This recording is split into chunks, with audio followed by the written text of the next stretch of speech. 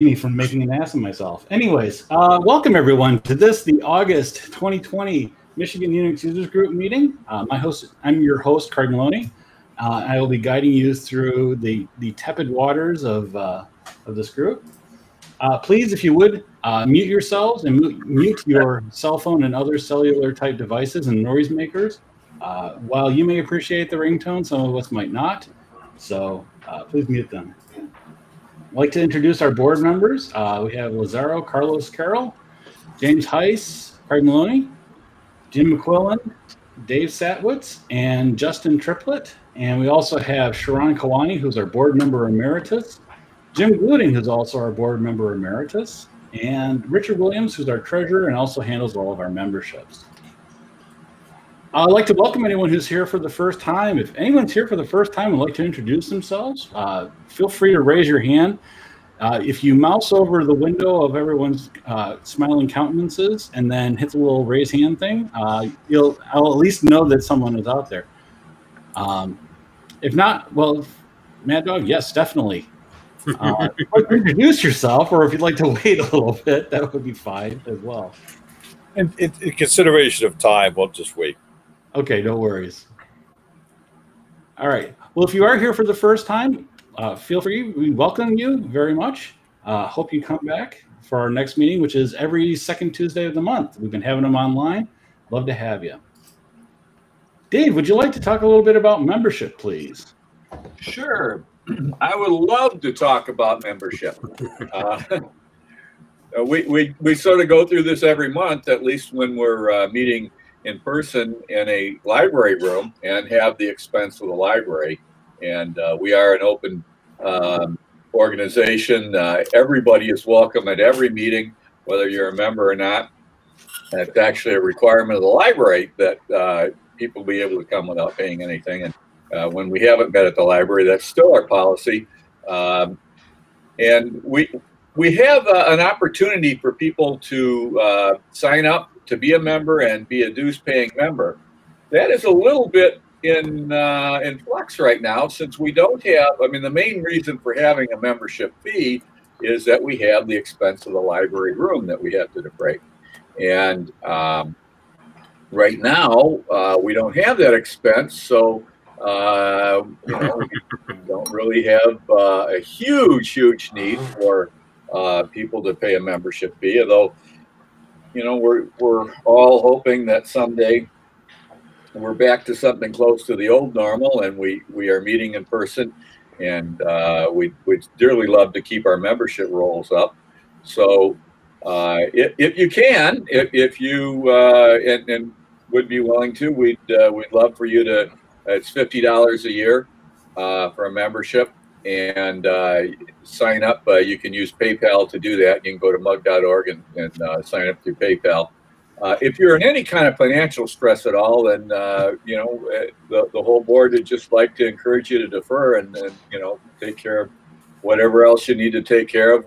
we're going to do just fine until we're back to a, a, normal kind of situation. But we, we do want to keep our membership up and keep the rolls up and stuff like that. So um, you know, mug.org, you can pay, you can uh, use PayPal to, to, to join if, uh, if you'd like to. And if we can, um, we'd love it if you did. Thank you. All right. Uh, we do have a section here for jobs looking for people. Uh, are there any jobs out there that are looking for folks?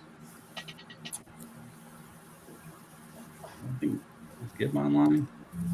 Usually, uh, he's, uh, he's yeah. Go ahead, get but he's always got something to say. So the thing I've always got to say is the Ford Motor Company is hiring, and we have a need for a lot of smart people. And we really think that this is a good company for you to get uh, involved in. We're trying to be a real, you know, uh, real company that is sensitive to people and all that type of thing. We've had uh, a change to our CEO uh, this past week that made uh, big news here.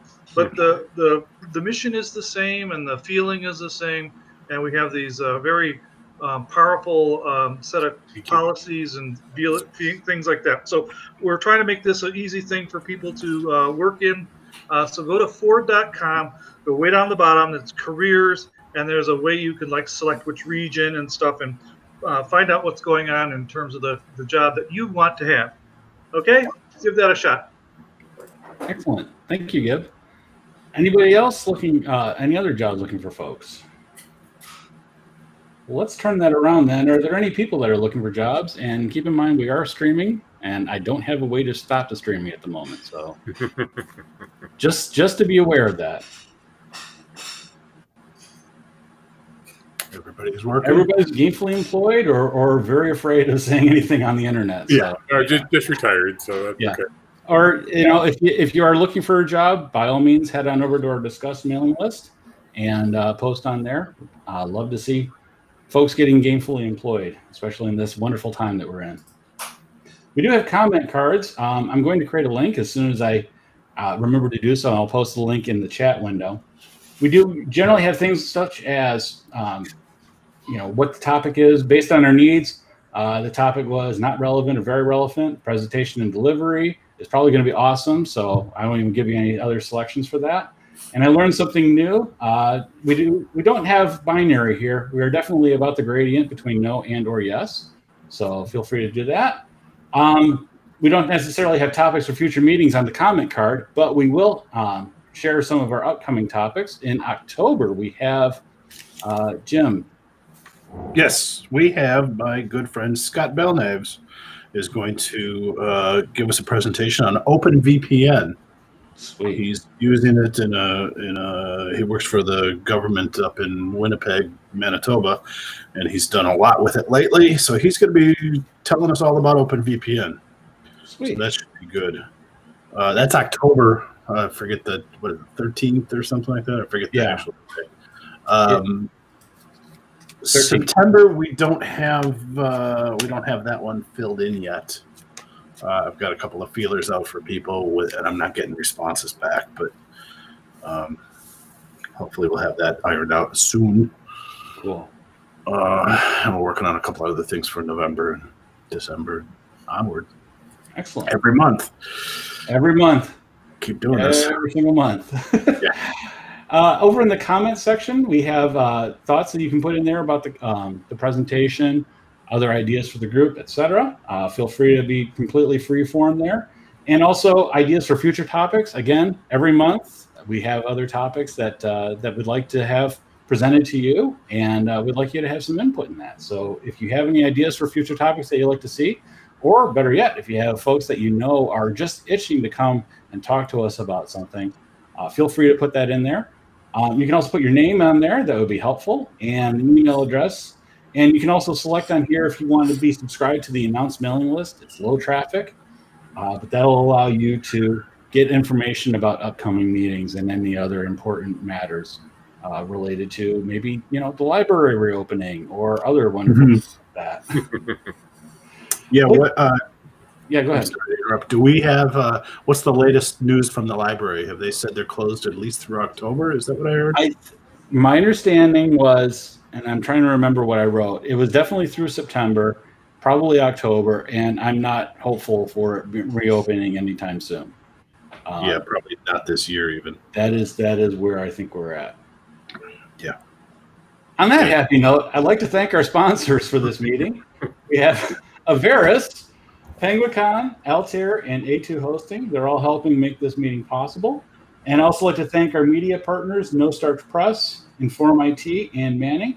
There are some coupons on our website if you'd like to check out and see if there's uh, some good deals on electronic and other media.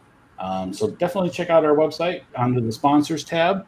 And uh, thanks very much to No Starch InformIT and Manning for making this awesome as well. Like you to stay connected with us, if you would, please, in a nice and tidy fashion. Uh, you can visit our website over at mug.org. And then you can also head on over to our next meeting uh, site. You know, if you head on over there, you can find additional meetings and such. And you can also find our topics Trello boards. If you click on over where it says meetings and click on down to topics Trello board, you'll find all sorts of information about topics and other assorted things where you can suggest new topics, vote on suggested topics, uh, vote on speakers. Um, so these are folks that have suggested topics to us. Like to really see something, we'll definitely get that up and going.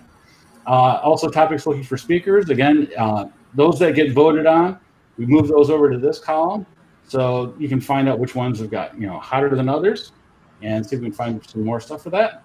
And then our scheduled topics as well. This, generally speaking, has all the latest and greatest information before it gets to the website.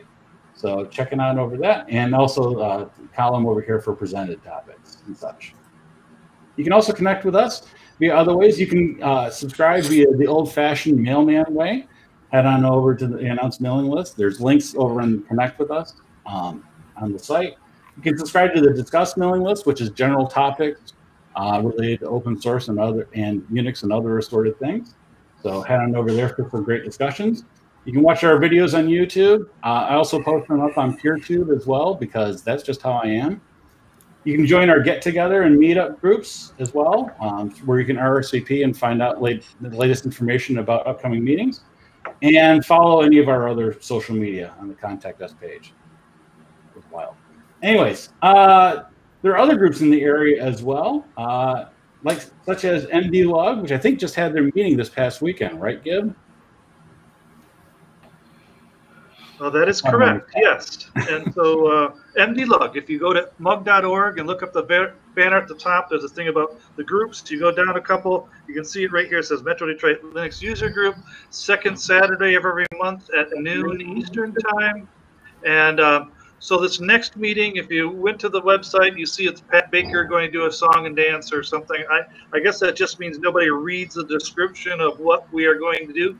Uh, so anyway, Pat Baker is uh, a wonderful uh, person with all kinds of technical knowledge. Uh, you know, just a, a fabulous uh, speaker. You want to you know show up for that? That's uh, that'll be September 12th at noon. Excellent. Uh, SEMCO, what's going on over there? Oh, hello. Since uh, Richard Jackson isn't here, I'll say a few words about. He is here. He just popped on. Yeah. Oh, he just hopped on. Mhm. Okay, go ahead, Richard. Yeah, if you're uh, uh, uh, there, unmute yourself. Richard. Oh, he's still muted. Let me go ahead. Uh, oh, there he is. Yeah, go ahead, Richard. Uh, yes, I assume you're talking about meeting topics. Uh, dates have not been set, but we were talking about getting, uh, presenters on PowerShell. Uh, well, Wolf was gonna talk about the, the Netscape browser history, uh, once I get that nailed down. Um, and, uh, there are a couple other things that, uh, slipped out of my mind right now that we're working on. No worries. And where would you head uh, to find out more information? Uh, yes, if you go to the, uh, in a few days, if you go to semco.org, S-E-M-C-O.org, uh, next month's topic will be there and also, uh, near the bottom, uh, future topics that we're working on. Awesome. Thank you. You can find also other additional uh, information about other groups on the page. Um, also, head on over to Get Together. There's a few other groups uh, that have made their presence known over there. So head on over there, gettogether.community, and learn more. Uh, miscellany. Usually, we let you know where the bathrooms are. Hopefully, you'll those on your own. Uh, Yeah. Uh, is there any other business that I'm missing that I have somehow spaced upon? Uh, I think we're good. I think we're good. Okay. Uh, please make sure your trays are in the upright and locked position. Uh, also, please make sure that your telephone and other communication devices that may make noise during the meeting are either muted or yourself, you yourself are muted. And with that, I would like to introduce Jon maddog Hall, uh, who is our main speaker for the night. Uh, I don't know if he needs any introduction, but uh, so I won't be able to give him a proper introduction. But Jon, if you would please uh, introduce yourself and let us know what's going Sure. on. Thank you. Sure. I have some slides. Can you hear me all? Yeah. Okay. I have some slides I'm going to put up there, mostly to keep myself on track. Um, it's it's a little bit of the personal history of me with free software and Unix systems in general. So I'm going to put uh, my application window up and share that with you. Perfect. There you go.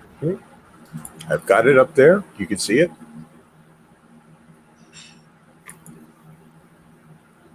There we go. Okay. So this is a personal history, but is tied in with free software. And uh, oops, how am I? Oh, there we go. First of all, I need to remind everybody that Linux is a registered trademark of Linus Torvalds in several countries around the world. We actually administer that through the Linux Mark Institute, which now is under the guidance of the Linux Foundation. Uh, and Unix is a registered trademark of the Open Group. And with by by passing tests, you can brand your operating system as a true Unix system, no matter what SCO says. So I'm going to take you way back in time, around the time that I started with software, which is about 1969. And at that time, most software was what we would call today open source, but we didn't call it open source because we just called it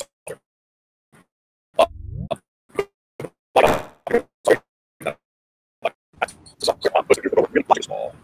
You know, me- measure uh, memories in kilobytes and stuff like that, and very expensive. So you might pay fifty thousand dollars for a system that only had 4,000 12-bit words of memory. Um, if there was an operating system on the computer, it was pretty specialized. And typically, what you did was you compiled your programs and you linked in the device drivers into your program, and then you booted your program, and that ran on the computer. And one of the first computers that I programmed, or the first computer I programmed, was an IBM 1130. That's a picture of it right there. Um, it ran one program at a time. You had a console that you could type things in on. You had some sense switches that you could flip up and down, and that would control your program. Uh, you had lots of lights showing you what was in the registers and stuff like that. And um, I programmed that in Fortran. And notice the spelling of Fortran, all capital letters, because, I mean, obviously, what other language might you ever need other than Fortran? And not Fortran to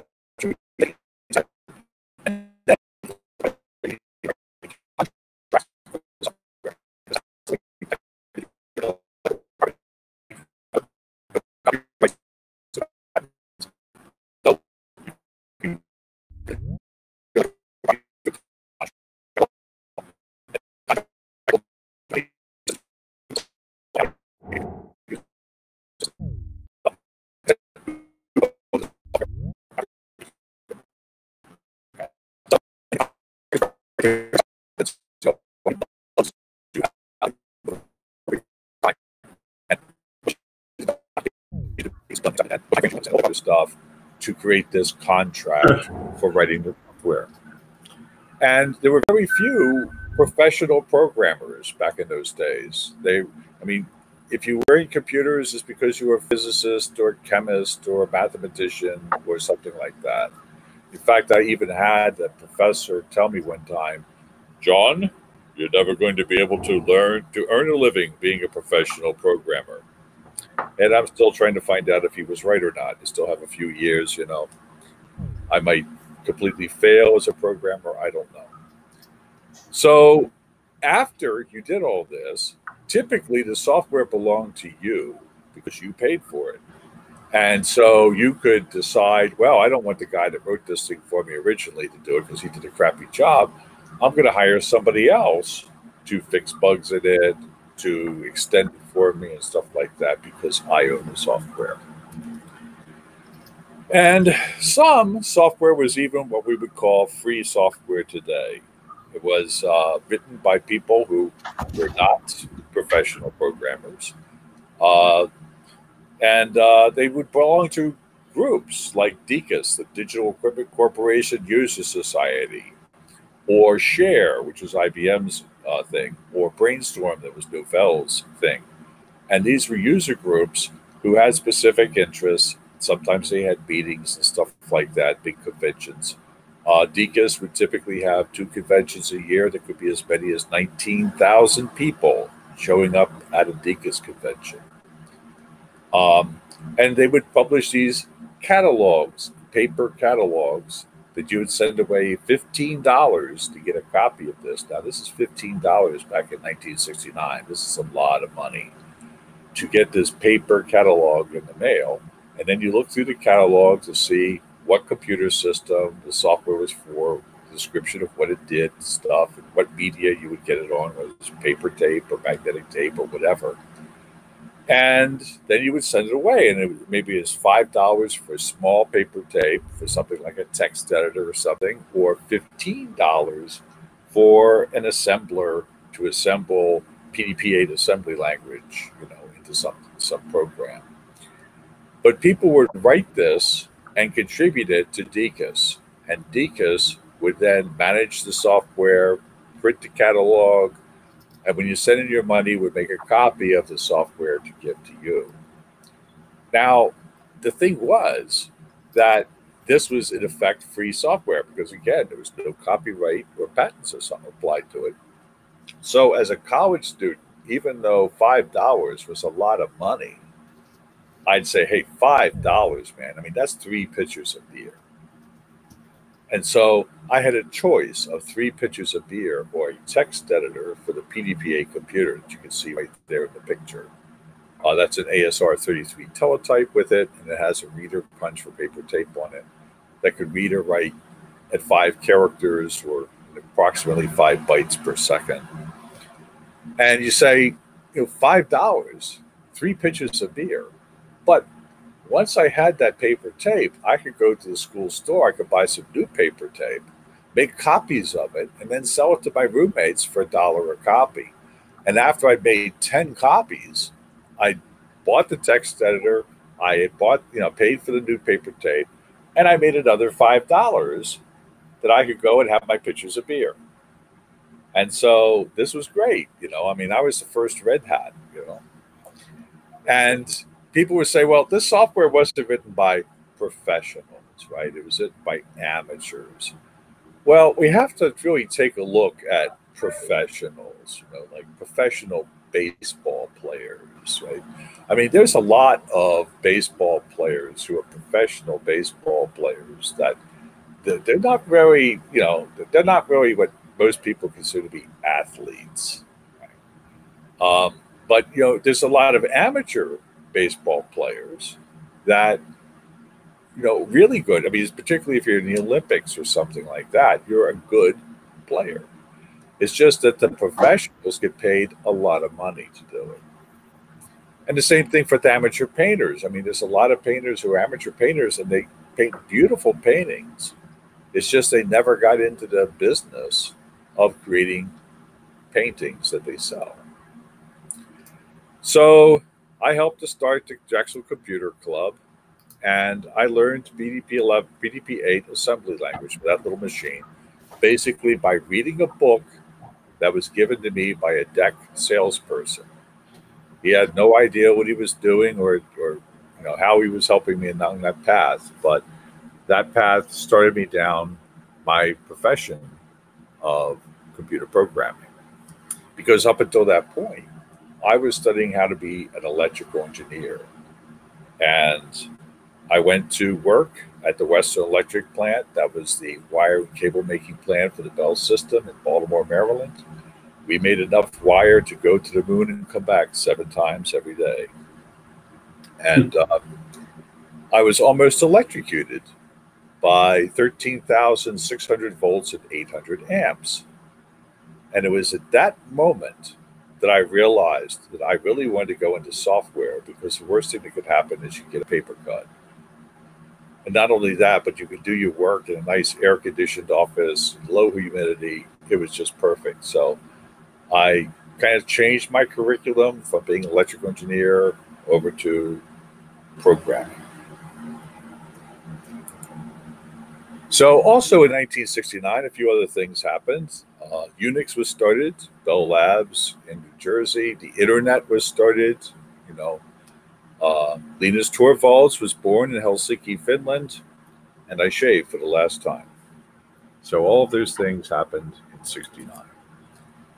Now, some problems did exist. It wasn't all cream and peaches. Uh, it was really expensive to give a, a, student a computer and very heavy. Uh, sometimes, if you gave a student a computer, they needed to have uh, raised floor in the computer center and a 20 ton air conditioner and water cooling and an 18 wheeler tractor trailer truck to haul it home and all that type of stuff. And communication was by snail mail or carrying boxes of cards down the hallway, um, or later on using something like UUCP to dial up a bulletin board or dial up another system and communicate with a 130 or 300 baud modem, which does about 30 characters a second or 30 bytes a second. So, you know, things are a little slow. Um, I graduated and went to work for Aetna Life and Casualty, a large insurance company in Hartford, Connecticut. It was the world's largest multi line insurance company in the world. That building is just their data center. And it actually went down another four floors underground. It was the largest commercial user of IBM equipment in the free world. So we didn't know what the Russians had or the Chinese had, and we didn't know what the military had, and we didn't know what the government had. But if it was a commercial user, car company or whatever, they were second or third to us. And um, we had a tape library that had 500,000 nine track tapes inside on site. We had a mainframe IBM computer that was its sole function was to keep track of where those tapes were. We had another 100,000 nine track tapes in a salt mine in Idaho for long term storage. We had, uh, we even had tape drives in bubble wrap in the salt mine to read some of those tapes. Now, don't ask me where the operating system was to read them or the hardware, to the CPU to plug them in to read them was. So that was a different subject. But we would actually take a tape drive and, you know, as they came out, put one in that salt mine so that in case we ever had to read those tapes, we could. Um, we had in, on one system, we had 500 IBM 3330 disk drives that represented one file on one program on one system. We had 500 disks.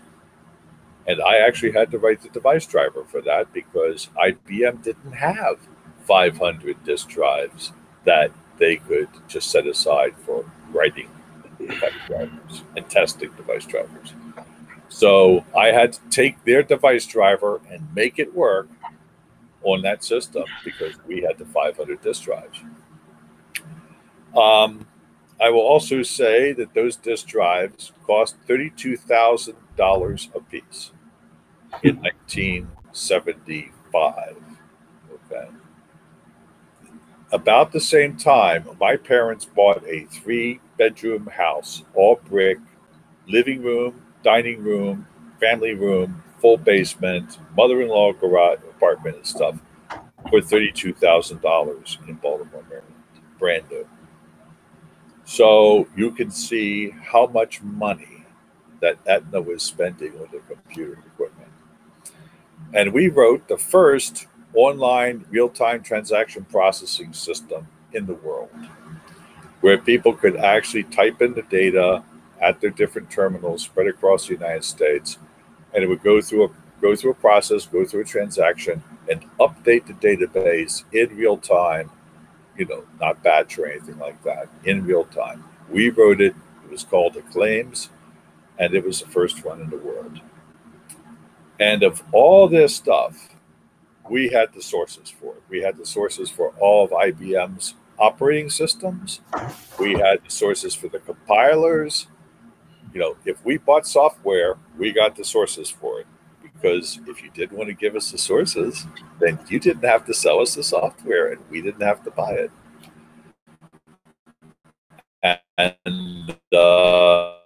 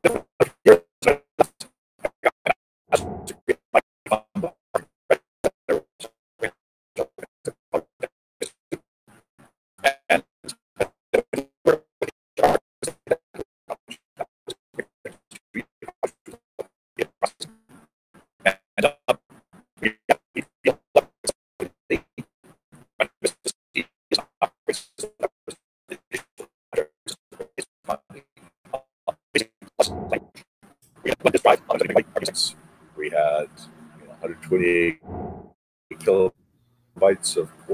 Number one, we upgraded that to 200 Hey, Jon. kilobytes. Jon, Yeah. can I stop you for a sec?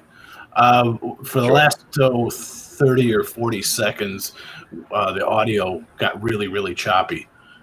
I think the last thing, the last thing intelligible that we heard was about this having the source code for uh, for all the programs that you had in house. Uh, Okay. Uh, and some of the people have asked that, that maybe you could repeat some of that since then. Sure. Sure. Sorry about that. Any, uh, uh, anybody who's still got their camera turned on, uh, please turn it off. Uh, that'll reduce the bandwidth requirements. Uh, Victor, that includes you and Richard and uh, uh, Dick Williams, if you can, although Dick is away from his chair right now. But that'll reduce the bandwidth requirements, and hopefully the audio will stay better. Um, because it's been pretty good other than when you first started talking we had a few seconds of choppiness uh, but it had been good for quite a while Okay. okay so having said that Jon if you could kind of pick it up from that slide where you were talking about the, the last bullet item was uh, that you had the source code Right. So to give you an to give you an example of why we needed the source code for this, uh, we purchased a compiler for the system because the commercial compiler that we purchased gave us 10% better performance than the compilers that we got from IBM. And if you pay two and a half million dollars for an opera for a computer and you get 10% better performance out of it, that means in effect you save $250,000. So paying $100,000, and remember these are $1975, paying $100,000 for your copy of this compiler was a good deal. And we we did a contract for the compiler, which said, you know, how do we accept it and what documentation do we get with it?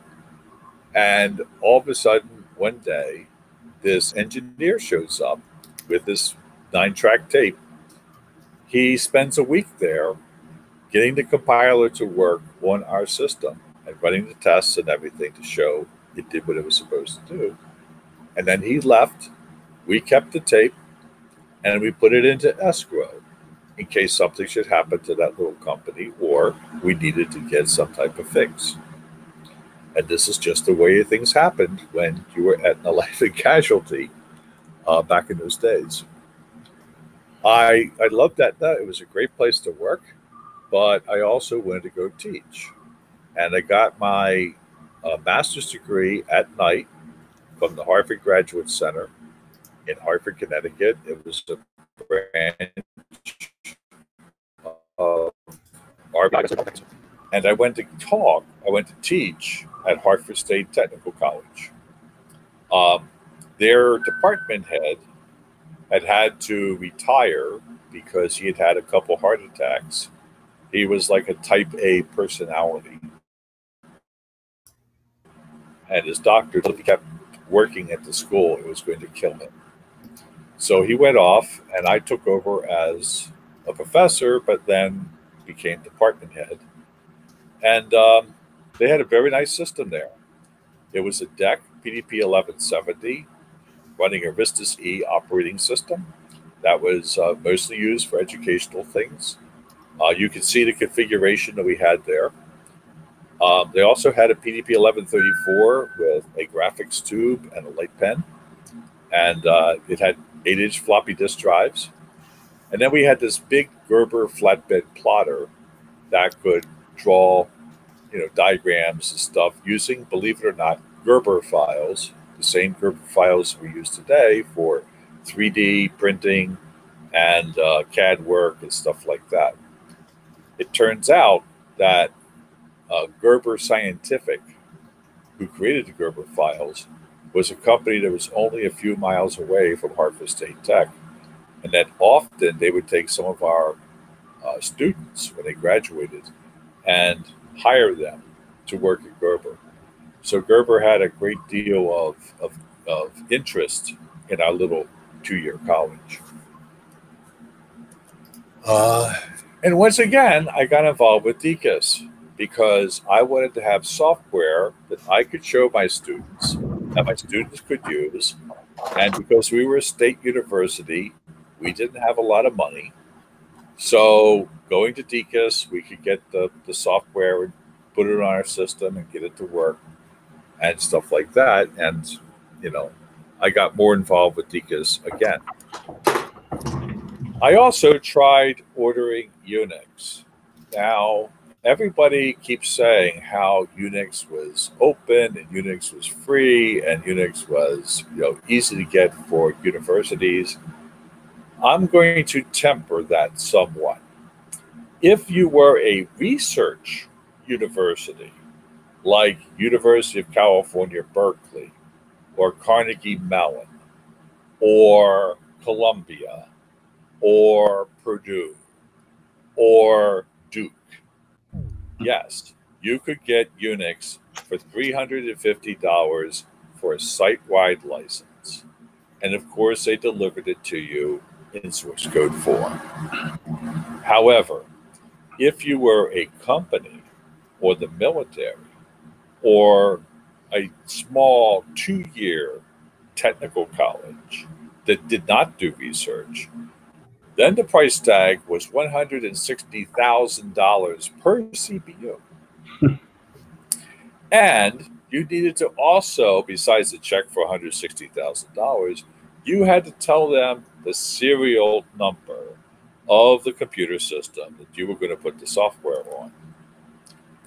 And if that CPU went down or was broken and you wanted to put it on a different CPU, you had to call them up before you did that and tell them what the other CPU number was so they could update their records and transfer it over. So Unix wasn't exactly free. I know all of this because I tried to get Unix for my little school and I had to give up. So I worked for the school for a couple of years, and um, and then I had an opportunity to go to work for Bell Laboratories. Bell Laboratories in North Andover, Massachusetts, uh, branch labs that did work with the Western Electric Company there. And of course, I'd had experience as a co-op student working for the Western Electric Company. My whole family was in telephony and telephone. So I went to work for them and as a Unix systems administrator. Now, I'd never seen a Unix system before. And the systems I had seen used basically what you might call a flat file system, not a hierarchical file system, but a flat file system with a directory structure and files underneath. No directories of directories of directories, just a directory, the disk number, a directory, and the files. So that was a kind of a shock. And then the other thing that was a shock were these hundreds of little commands that, you know, there was just gazillions of them. And the other thing that was kind of a shock was that you had one directory called slash bin, and that heralded a certain number of commands. And there's another directory that had slash user bin. And then there was another directory that was slash home slash some type of username slash bin. And how did all these things fit together? And there was this thing called an environment and all this stuff.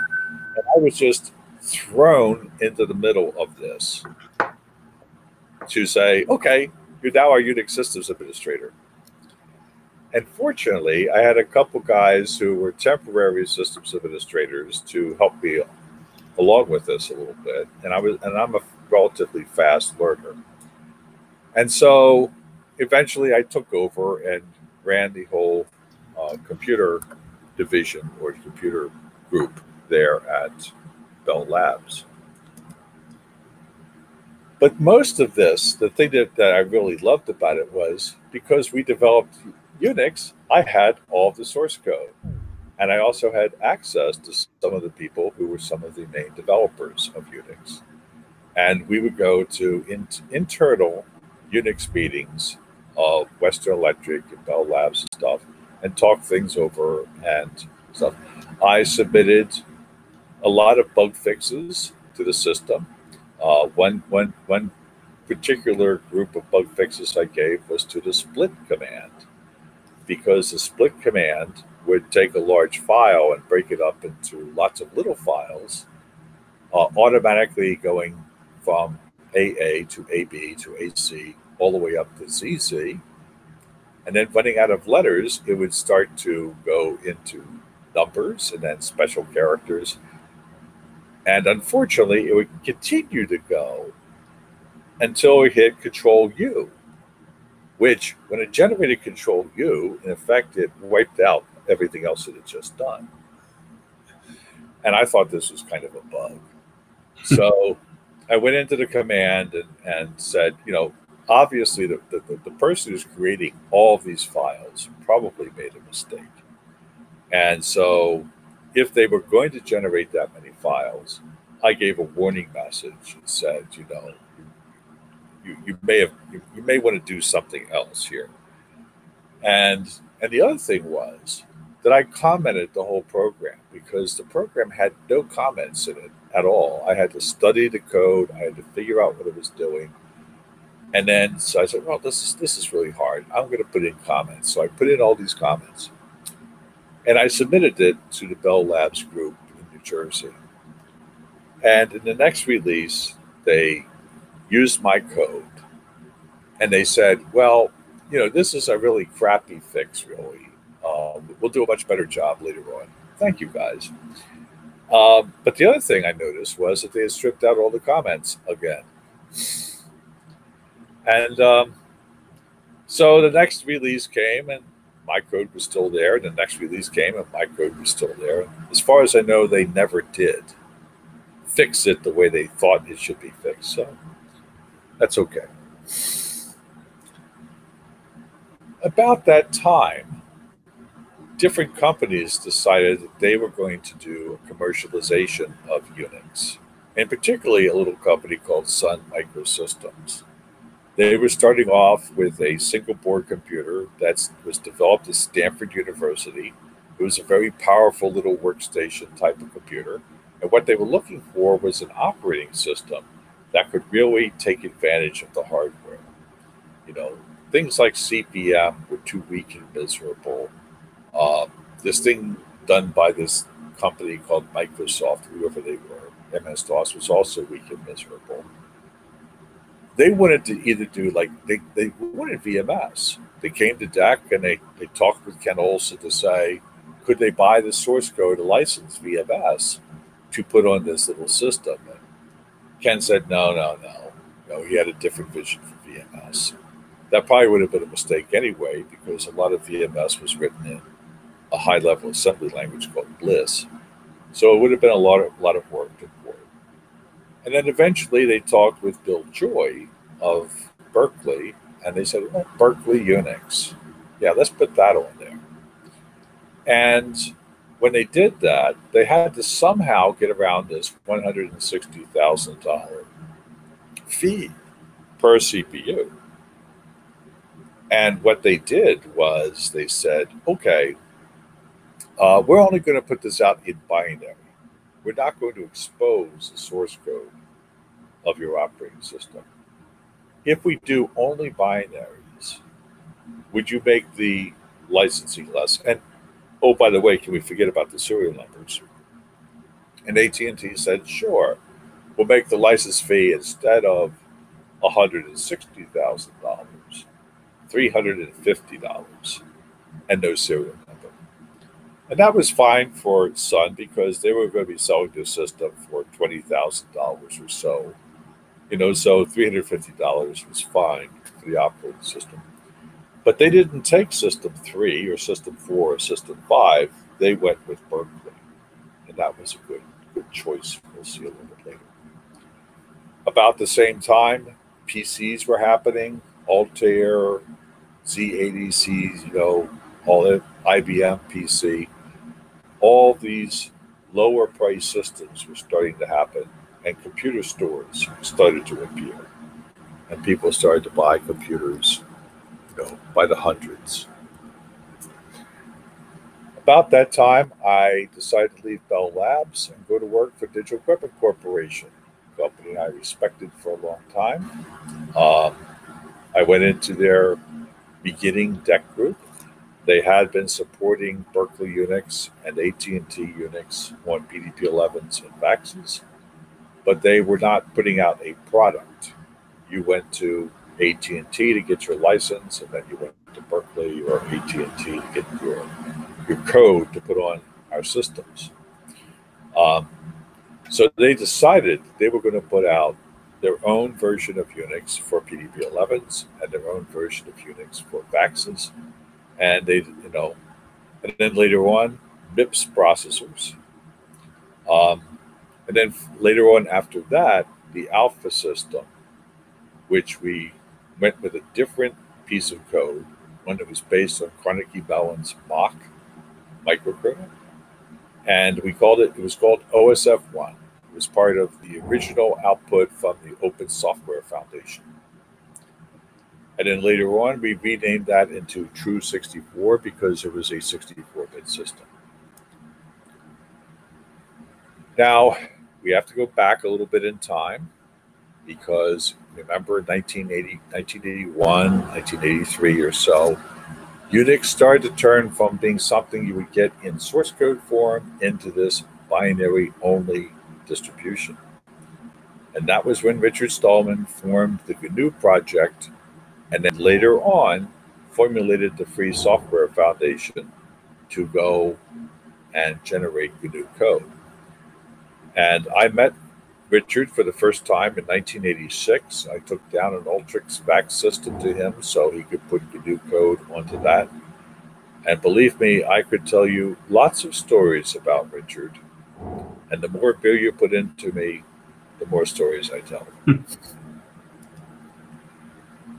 so, about this point, I really stress to people what free software means. It's not free as in beer, but it's free as in freedom.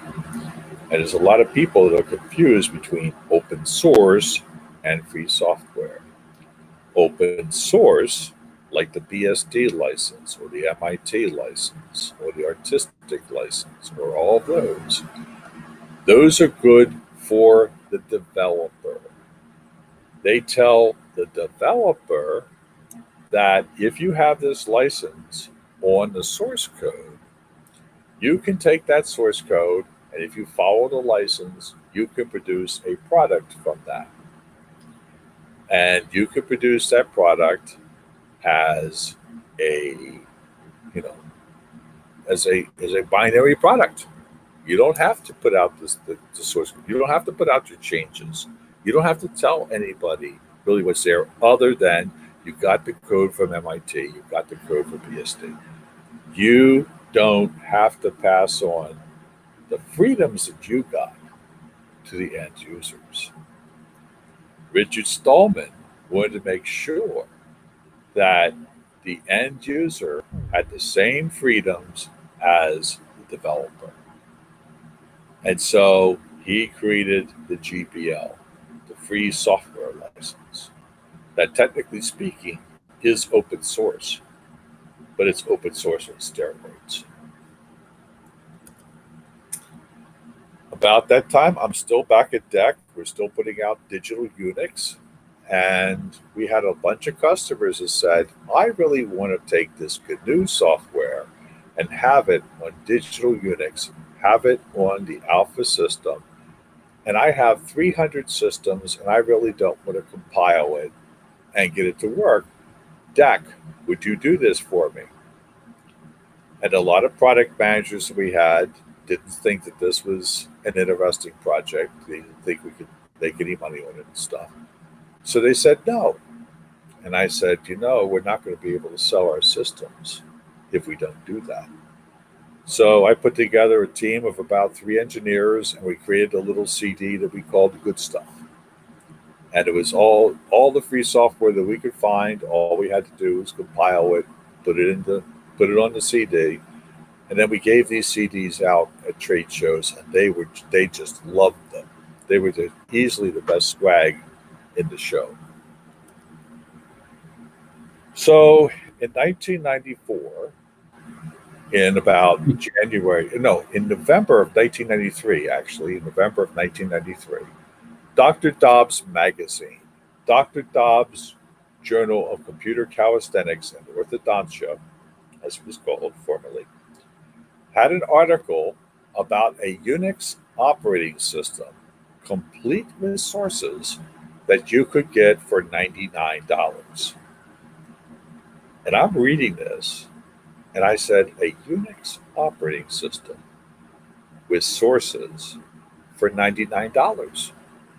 Now, I thought this was kind of strange because if you wanted to get the source code for digital Unix, you had to pay, you had to go to AT&T still and get an AT&T source code license and it was still $160,000.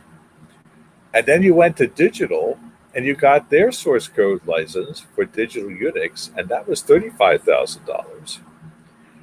And then you got the source code distribution, which was $1,200.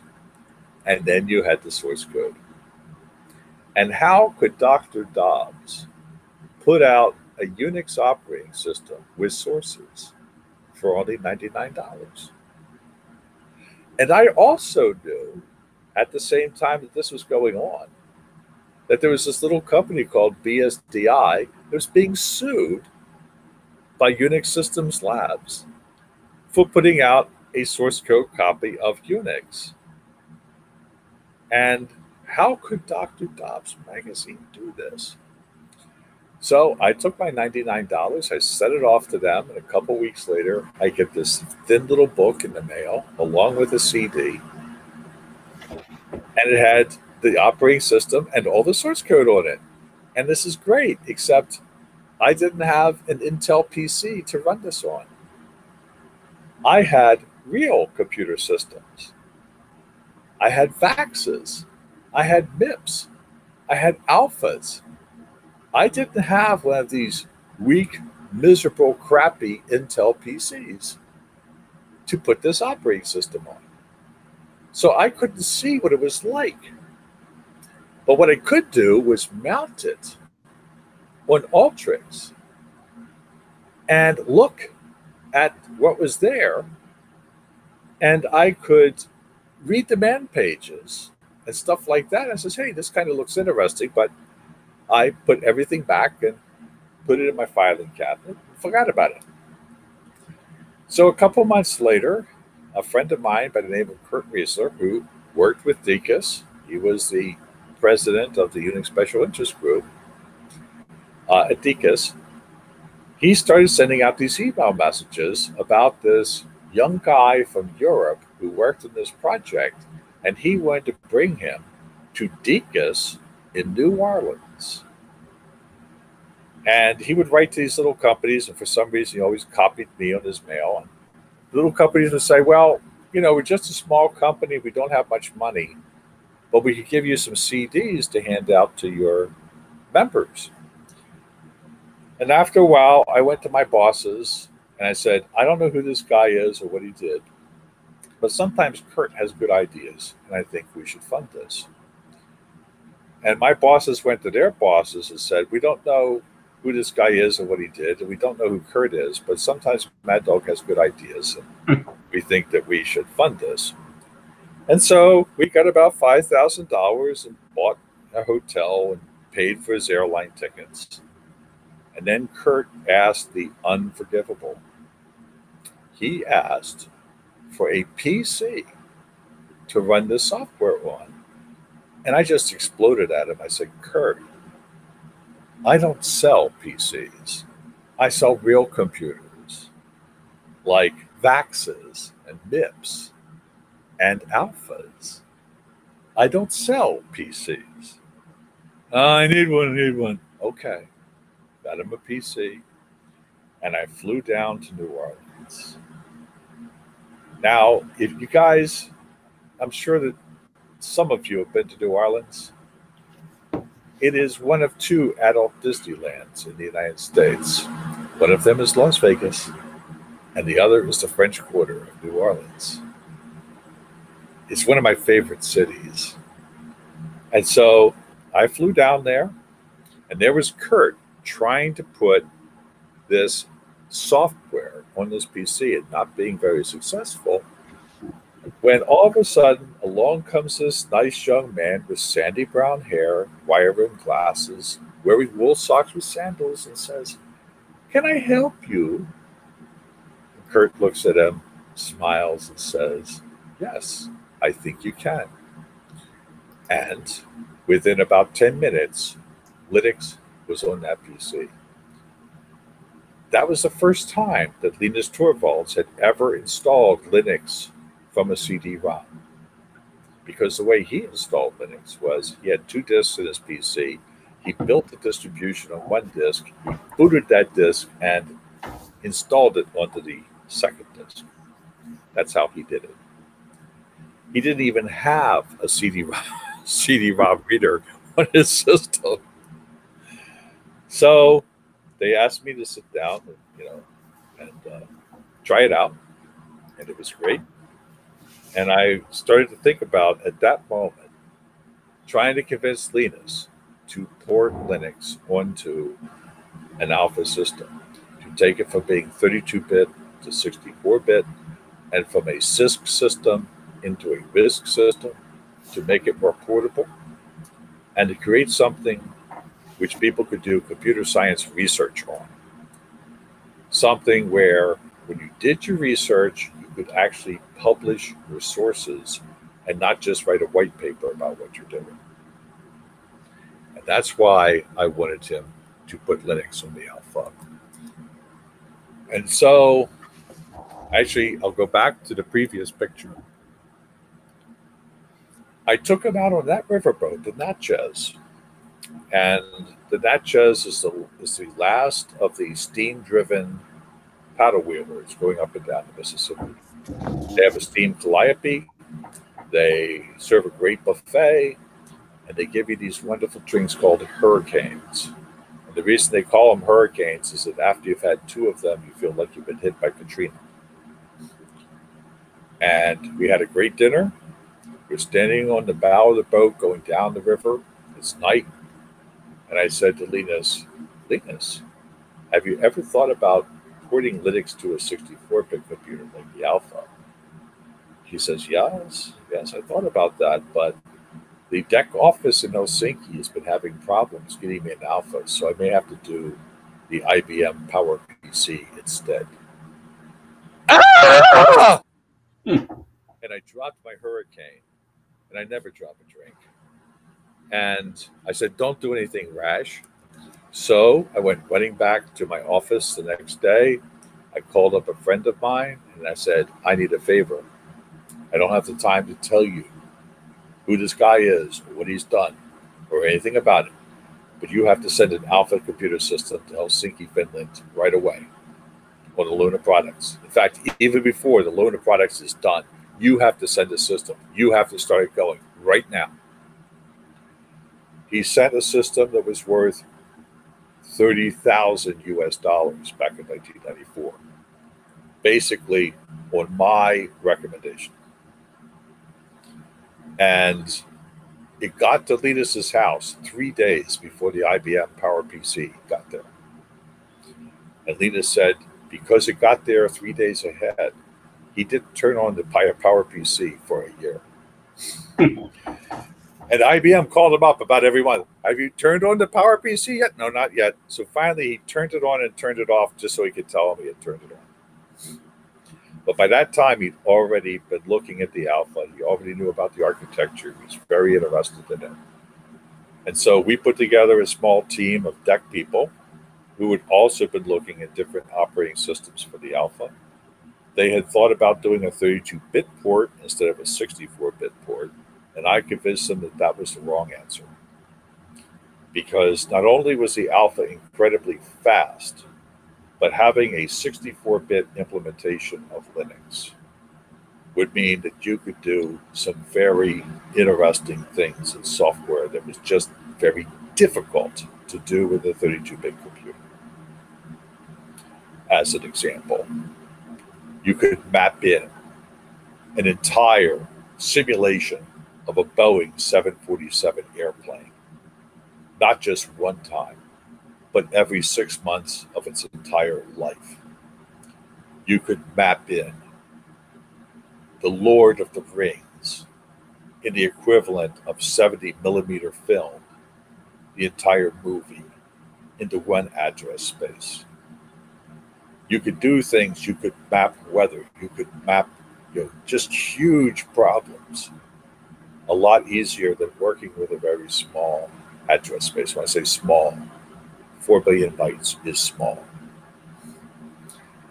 And so while this system was working its way to Linus in Helsinki, I was emailing Linus uh, documentation so he could look at it. And like I said, he did not turn on the IBM Power PC for a year.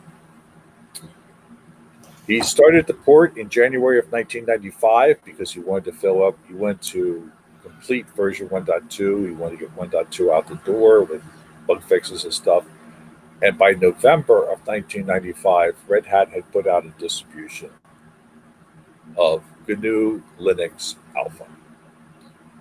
Um, there was a company in Boston, still there, called Eli Heffron and Sons.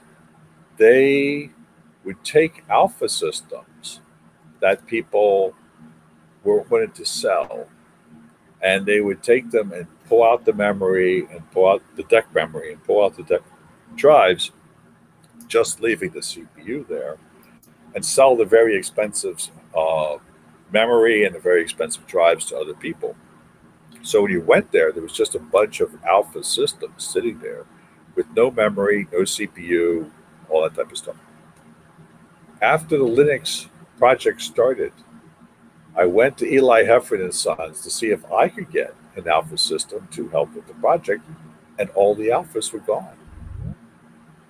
And I said to him, What happened to all the alphas? He says, I don't know. These guys come running in here, mumble something about Linux, get the alpha, put memory and disk drives in it, and leave. He says, They're all buying. What is a Linux?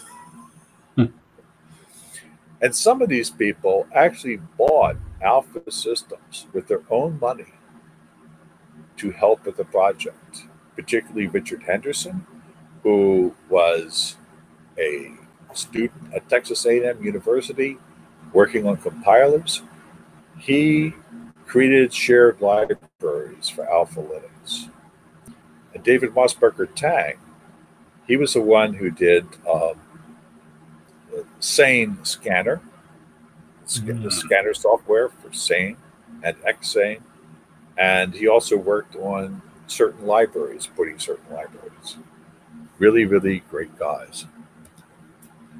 Um, a little story about the DEC math library. We had a math library, you know, sine, cosine, tangent, all that type of stuff. And we had hired a mathematician to make the world's fastest math library for digital Unix. And it was just blazingly fast. The Linux people wanted us to contribute the library to them in source code form. We were happy to contribute a binary that would work on Linux but my management did not want to give out the source code because it said, hey, Sun would just copy it and then their math library would be as fast as ours. So I was caught between these two groups. You know. And finally, one day I just turned to the Linux people and said, if you guys are such hotshot programmers, why don't you write your own faster library? And there was like silence on the other end of the internet for like three or four days. And then I got this message across that said sine is 3% faster. Another couple days, cosine is 2.5% faster. And subroutine by subroutine, they went down to the library and they made every single subroutine faster than the DEC alpha math library all except for one subroutine. And I forget which one it is. But that subroutine never got any faster. And I asked them why. And they said, nobody uses it. nobody cares. So, as far as I know, it's still not any faster. So, by November 1995, the port was finished. I wanted to make like 4,000 CDs of Alpha Linux, you know, Red Hat's distribution, and give them out. Red Hat says if you do that, nobody will buy it from us, and we need to sell distributions to make money. And so I said, okay, well, what would happen if you made an Intel Linux distribution of the same, basically the same source code? And I could give that out with the message if you like this, you should buy the Alpha Linux version to be that much faster and it'll be 64 bit. And so that's what we did. We made about 4,000 of those. We put the Red Hat logo on there. That was the old Running Man logo and the DEC logo. And I started giving these out as I started going around the world to conferences. And I felt just like Johnny Apple Linux. Not Johnny Appleseed, but Johnny Apple Linux. Giving these out and spreading them. I went to DECUS, Australia. And on my way, I stopped off at Honolulu to visit a friend of mine who was going to university there. And I met this guy named Pat Goda. His father was an ISP. I gave one of the CDs to Pat. He said, Oh, this is kind of interesting. We went on down to Adelaide, Australia, and we met with this company called Netcraft, and they were already in the market selling Linux support, along with a guy named Jeffrey Bennett, who was one of the people that worked at Netcraft. And it was Jeffrey who got this whole thing together about the Microsoft tax and trying to get the money for the Microsoft license off of the PC that he had purchased. And eventually he did. He got about $180 back, which was ridiculous because they didn't pay that much. And I'm still friends with Jeffrey. He's he's a great guy on the way back, I went to Fiji and I only had like one CD left. And I stopped off for a little rest in Nadi, a city in Fiji. And I was invited to go to the University of the Pacific there. Now, if you ever want to find a place to retire, the University of Pacific in Fiji is one of them with the big palm trees flying back and forth. And the professors wear sarongs and go barefoot, and you just have these these bottles of Fiji bitter beer. That's a picture of it there on the table. Just a wonderful place, and uh, I gave them a copy of Linux. They said, "Oh, that's wonderful," because they've been trying to pull it down over the net, but their modem was so slow in pulling it down that there'd be some type of storm in the South Pacific, and the modem line would drop, and then they'd have to start all over again. So giving them the CD helped them a lot. I felt a little bit like this. so we went to things, some early events like Linux Expo in New York City, and that's uh, right there is, oh, crap, I'm having a mental blank with his name. He's uh, one of the three guys who started Red Hat. Is it uh, Donnie? No, it's not Donnie. It's Erik Troan. Erik Troan. Oh, okay. Right Yeah. there. Right. And you can see in the background their uh, big banner that they had. And Oh, they yeah. some bookshelves with tablecloths on them. Now, in the lower picture, uh, the guy in the red hat in the rocking chair, that's Donnie. Okay. And he has he has uh, Kit Cosper's firstborn son Oh. there in his lap. Uh, that kid is now, of course, like you know, married and has, and has children of his own. Uh, there's Alan Cox, uh, the guy with the checkered or, or plaid shirt on is um, the other major owner or starter, um, Ewing, uh, Mark Ewing. He's the guy. He's the guy who actually came up with the idea of Red Hat, and that was that was uh, Johnson in the background. Again, I'm having Uh, Michael Johnson? Michael Johnson. Yep. Yeah, we, we had him speak here, gosh, like 15 years ago. Yep. That's Kit Cosper there. Uh, Yeah. Kit, Kit started the uh, Linux hardware thing, and then he went on to work with VA Linux Systems and a couple other people there from the early days.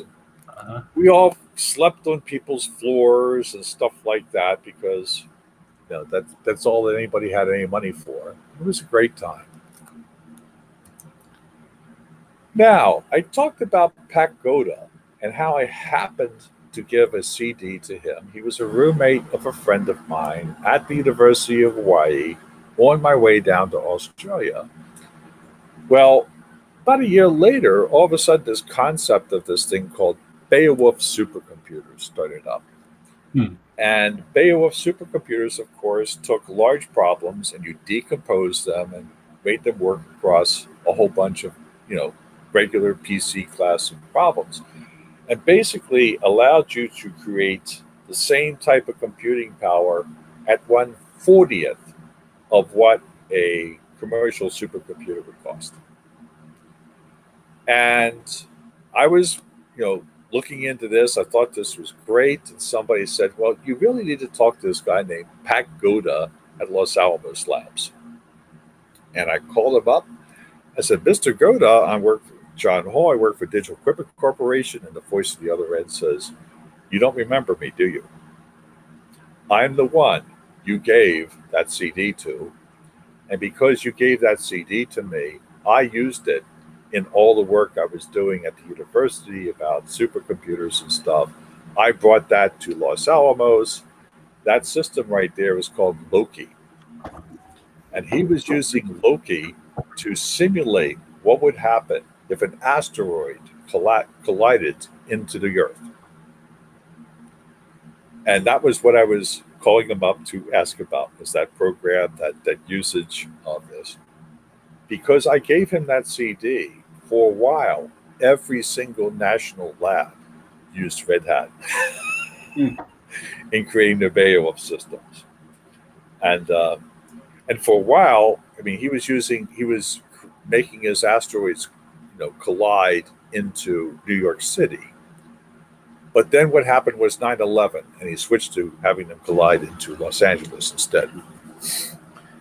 So that was, you know, another one of those small world things that something you do has great effect. Uh, I went to the University of Sao Paulo in 1996, and they also were using a Beowulf s- system. They had 160 computers put together. Um, and they were running Linux, of course. And they were doing Toy Story quality graphics in real time, not rendered over a period of time, but in real time. So you'd stand on a little pedestal with a baton in your hand. As you waved the baton, a little opera singer that the computer created would follow the baton. His chest would puff out. His leak, his you could see his face turn red if he was supposed to be very loud. And all of this was in real time. He, they were also uh, evaluating mammograms in real time. Uh, they had a program that could determine whether or not a woman had breast cancer that was 95% of the time, it was completely accurate. But it took 20 hours to run this program on a SPARC 20 computer system. On their Beowulf system, it only took 10 minutes. And so they could come up with the same answer. And their, their, what they wanted to do was spread the program out across all of the computers that were in the hospital that were just sitting there, basically idle, doing nothing, and have each one of those computers do a portion of this program for the mammogram. And they were also using Linux to repair computers across their gigantic campus. They have 100,000 students in Sao Paulo. Uh, it takes about four hours to drive across the city at rush hour, four hours to get back. So they would install Linux on the other half of the disk drive of their Windows systems. And if Windows wouldn't boot, they would boot Linux. That told them the hardware was okay. And then once Linux was up and running, they would FTP a brand new copy of Windows over top of the old one and reboot the system into Windows again. And the president of the university took me out to lunch and looked me in the face and said, Mad Dog, is this a legitimate use of Linux? And I said, Mr. President, every use of Linux is a legitimate use of Linux. Now, that certificate, which you see on the screen, you'll notice that is the 1997 Gordon Bell Award for performance and price for performance for high performance computer systems. Gordon Bell used to work for Digital. He was one of the people who helped to develop the PDP 11 and, and RSX 11 and also the VAX and VMS. He had left Digital and gone to work for Microsoft and was in their high performance computing group. And the interesting thing was that they, they had this prize named after him, but every year the systems that won the prize were running Linux. he never, there was never any prize bearing his name that was won with Microsoft. And I asked him one time about it. He kind of laughed. He was a good guy. He didn't care. But uh, I says, Gordon, how's it feel to be working for Microsoft, be the head of this high performance computing thing, and it's always Linux that wins the prize? Like I said, he just laughed. So I go on another trip. I stop off Fiji again. It's a couple years later. I say to my salesperson, I'd like to go back to university and see how they're doing with Linux. And he says, they're not using Linux. I said, well, they seem to be excited about it the last time. He says, nope, nope, they haven't said anything about it. And I would know because I'm the salesman. If they had anything, they would have asked me. So I said, well, let's go and see them anyway. We go to the university, we go into the director's office. I introduce myself, and I notice that on the windowsill there's a plush tux penguin. And I said, Mr. Director, I'm Jon Hall. I'm the president of Linux International. And uh, I was just wondering, do you guys use Linux here? He Said, oh, oh, oh, the professors would all like to talk to you. And so we went out into the, into this meeting room, all the professors came in, you know, wearing their sarongs and barefoot and stuff like that. They all sat there, and the, my salesman was sitting right next to me. Pardon me. And I said, um, How many of you have Linux on your laptop or your desktop or your server? And all of them raised their hand. And my salesman was so surprised, he fell off of his stool. And we got back outside. He said, I don't understand. They didn't say anything to me for two years, nothing about Linux. And I looked at him and I said, That's because they don't need you anymore.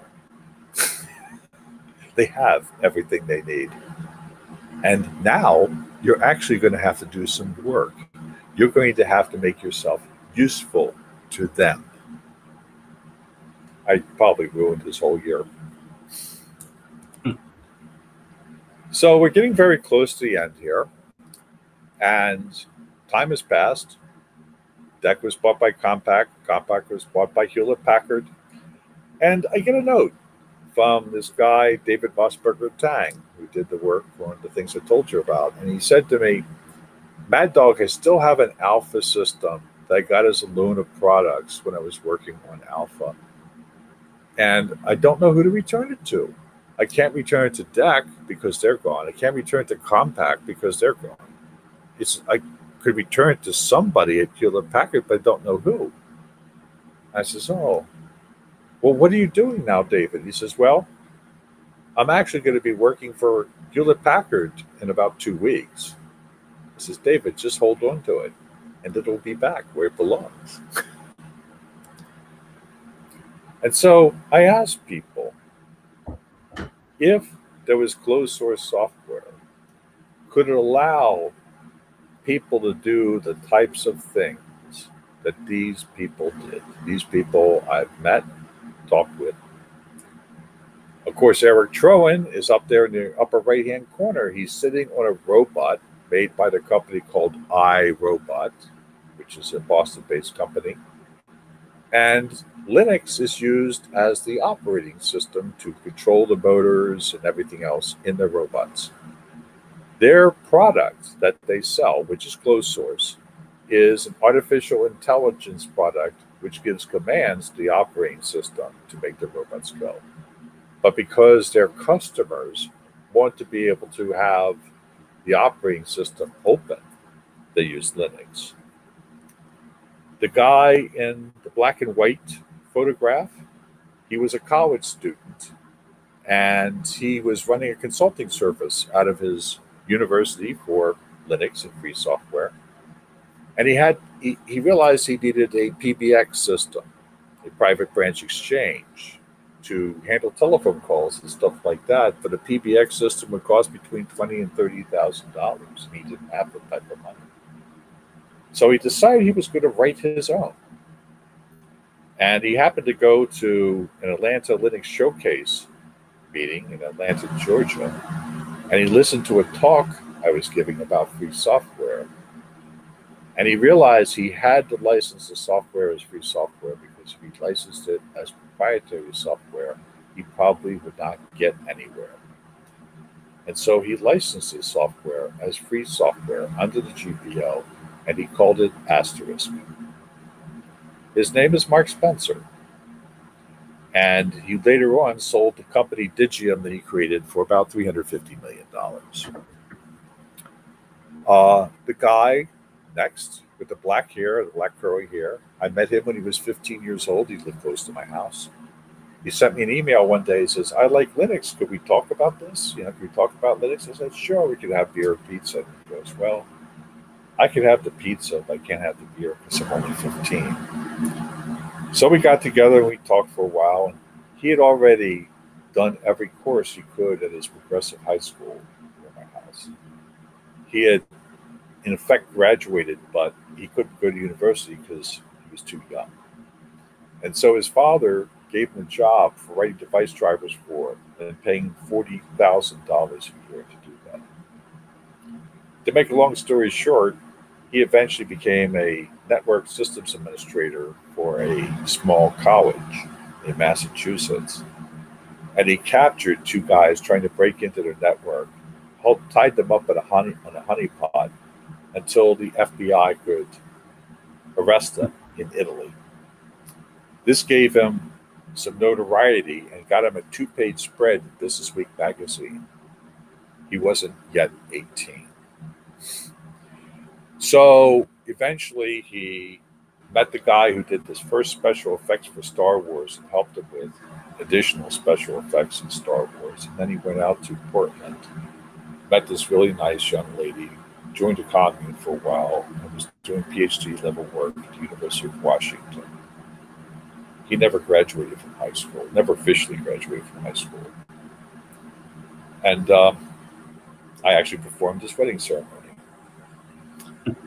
The guy in the lower right hand corner, he created his first distribution at the age of 15. It was the first distribution he could actually install into the FAT file system. He called it FAT Linux, PHAT. He had 20,000 customers before his, before his parents found out what he was doing. And when his father said, Why didn't you tell us what you were doing? He said to him, Well, I didn't really need your help he came to the uh, a, Linux Expo in, in, California, and I met him. I Digital had a big booth there, and you know he came in. Of course, I knew him already, and his father was just looking around at all these huge booths, and then he had his little booth, ten by ten, over in the corner. And I said to his father, "You really didn't know. You, did, you still don't know what he did, did you?" Father goes, I guess not. And then finally, the guy in the right hand, in the left hand corner at the bottom, is a person I met in Soweto, uh, South Africa. Soweto is a city of about 500,000 people that's north of Johannesburg. They're mostly black. They, before apartheid, they were the ones who would be hired to do uh, menial tasks for the white people in Johannesburg. Um, when I went to Soweto, I was there at the uh, invitation of a person from government, a black man that I met at the, at the conference. And he, as we were going around, I said to him, Soweto would be a perfect place for Wi Fi because it's kind of a bowl. And you could bring Wi Fi in here really easy. He said, These people wouldn't know what to do with Wi Fi. And I said, Well, you know, you could also help them with Linux. They could create jobs with Linux. He said, No, no, no. Says, These people barely know what a, what a PC is. He says, they, they don't even know about Linux. So he took me to the airport. I flew home. But he did go and talk to his boss about what I had said. And his boss said, Well, let's go and see what's going on.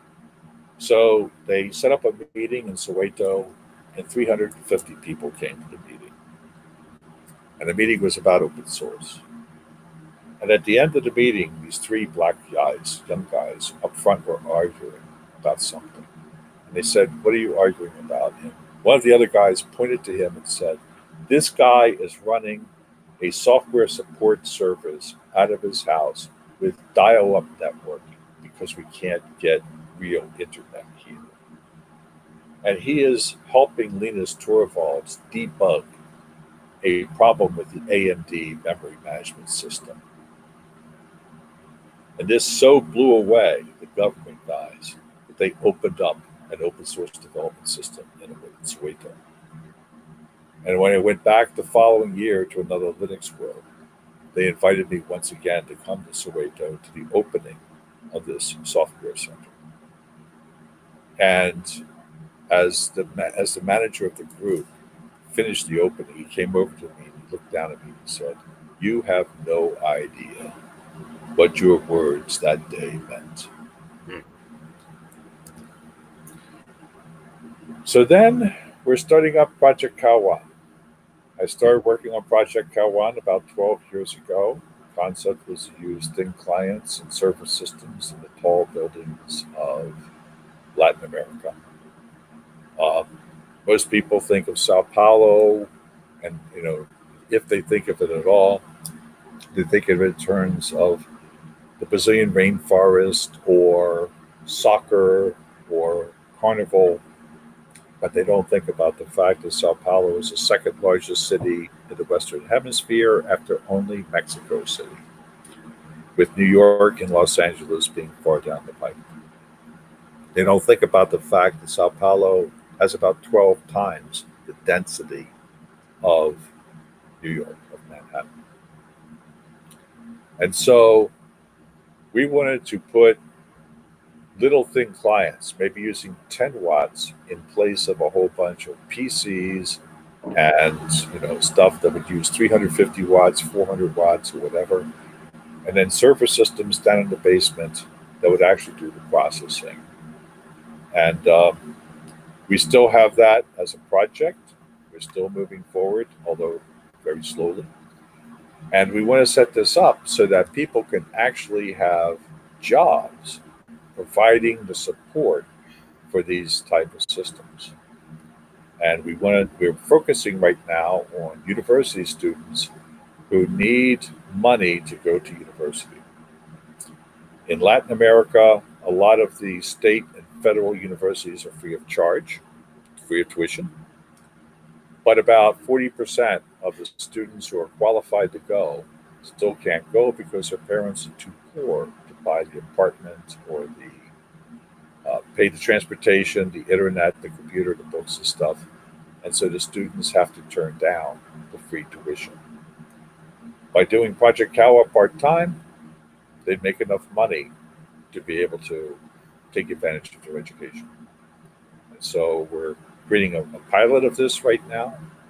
Uh, in Argentina, we have about 100 students who want to do this, and some more students in Sao Paulo and in uh, Rio de Janeiro.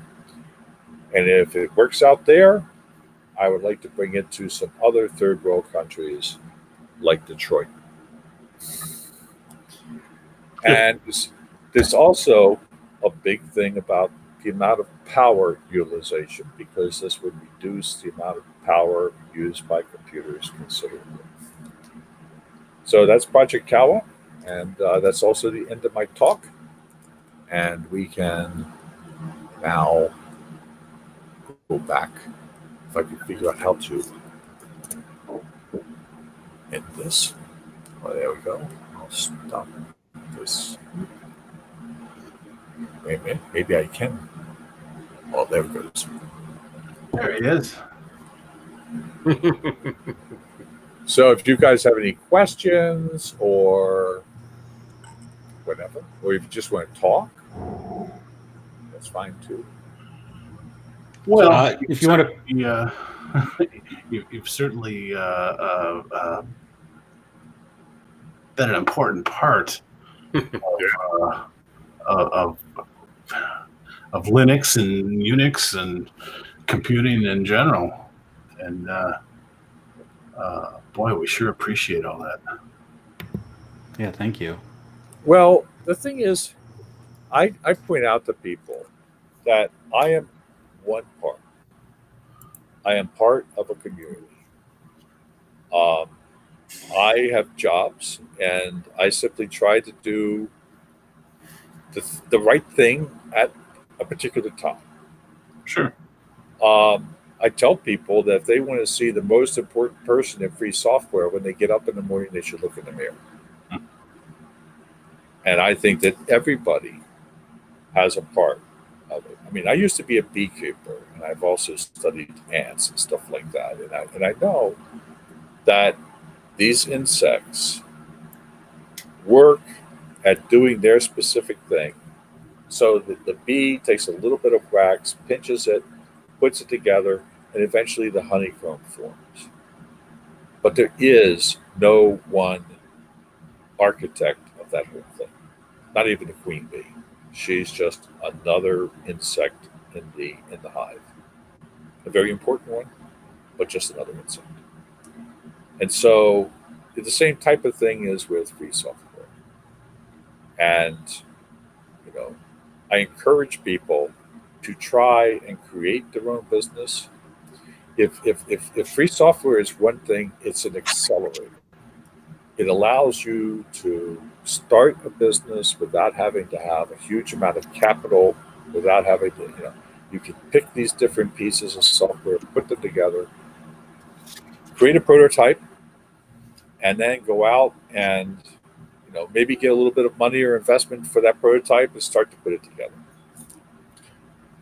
And I think in today's, particularly in today's market, with the viruses, with the economy the way it is, with the number of people being laid off, I would like to see lots of little companies start up instead of one gigantic company. Mhm. We, we don't need any more Bezos. Okay. what we need is a bunch of little companies who provide jobs, who innovate quickly, and stuff like that. Sure. It's it's interesting if you measure intellectual property by copyright and patents. 86% of intellectual property comes from small and medium business. Only hmm. 14% comes from the large companies. Wow. Now, even Apple. What Apple does is they buy things they see. People go to Apple and say, "Hey, look what I've done. Would you like to buy that?" Oh yeah, well, happy to buy that from you. But if you measure it by copyright and by patents, it's only for you know large companies only do fourteen percent. Gib, you have a question? Yeah, so um, you know, obviously, I've been a Linux supporter and uh, enthusiast for decades now, and you know, I've tried helping out where I can. I'd just be interested in your perspective in uh, what can we do to help Linux? What is it? You know, if if we as individuals might have an interest in doing something to further the cause, what types of things would you perceive that we could uh, to do? Well, uh, a lot of that depends on where you are. Okay. So I happen to mention Detroit.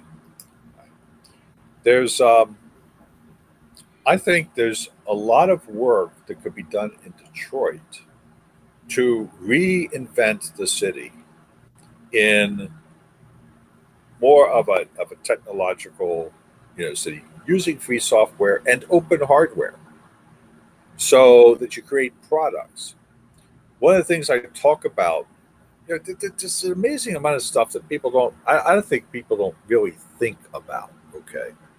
So I tell people that nobody really buys computers. Nobody even really buys software. They're buying a solution to a problem.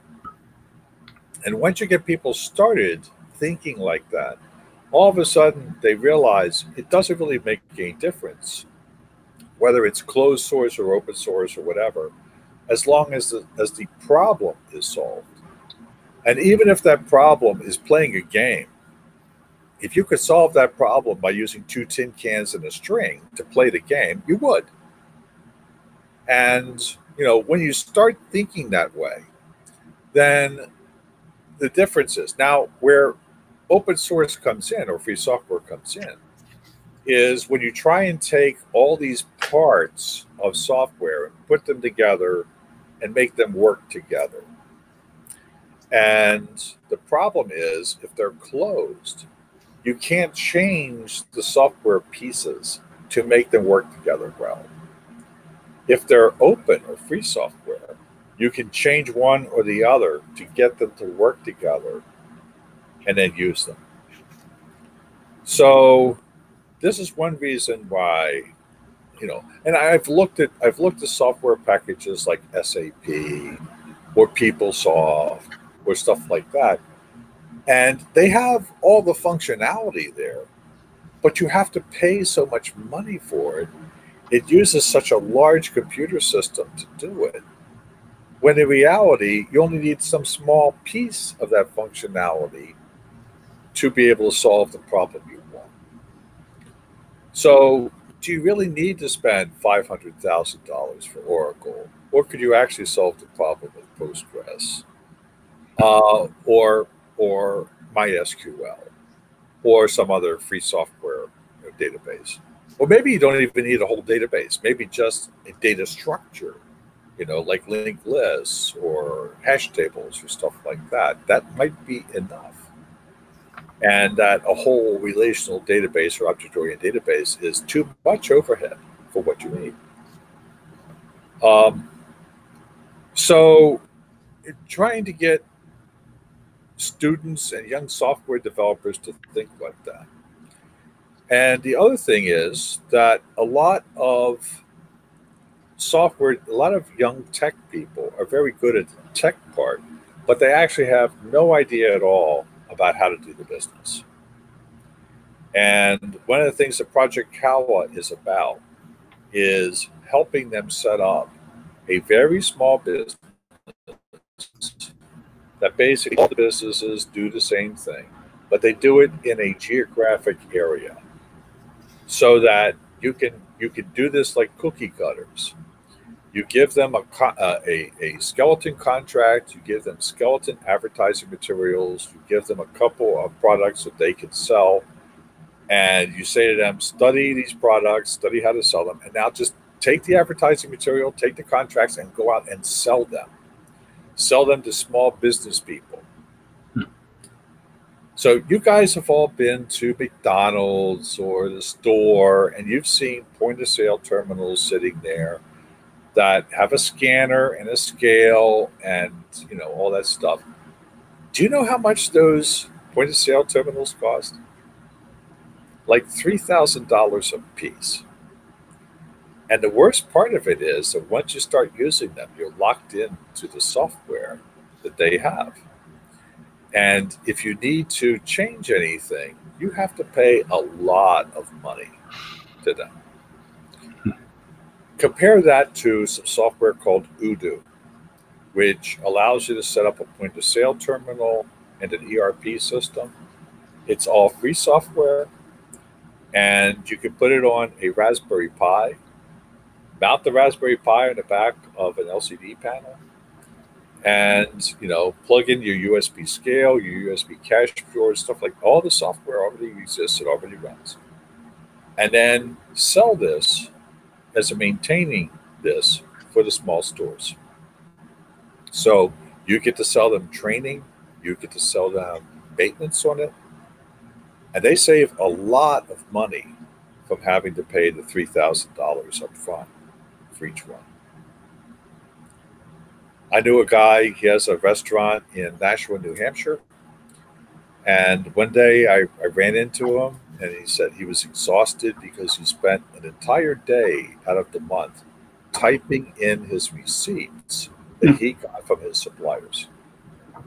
I go, well, why don't you just feed that into the system, right? I mean, don't you get these receipts? Can't you get these receipts electronically? So they mail them to me electronically. I says, well, I could write a sed script to take out all the formatting information and we could just feed this right into the database. He says, you can't because the company that sold me the system won't sell me, won't tell me how to do that. I have to buy a $30,000 piece of software to do that.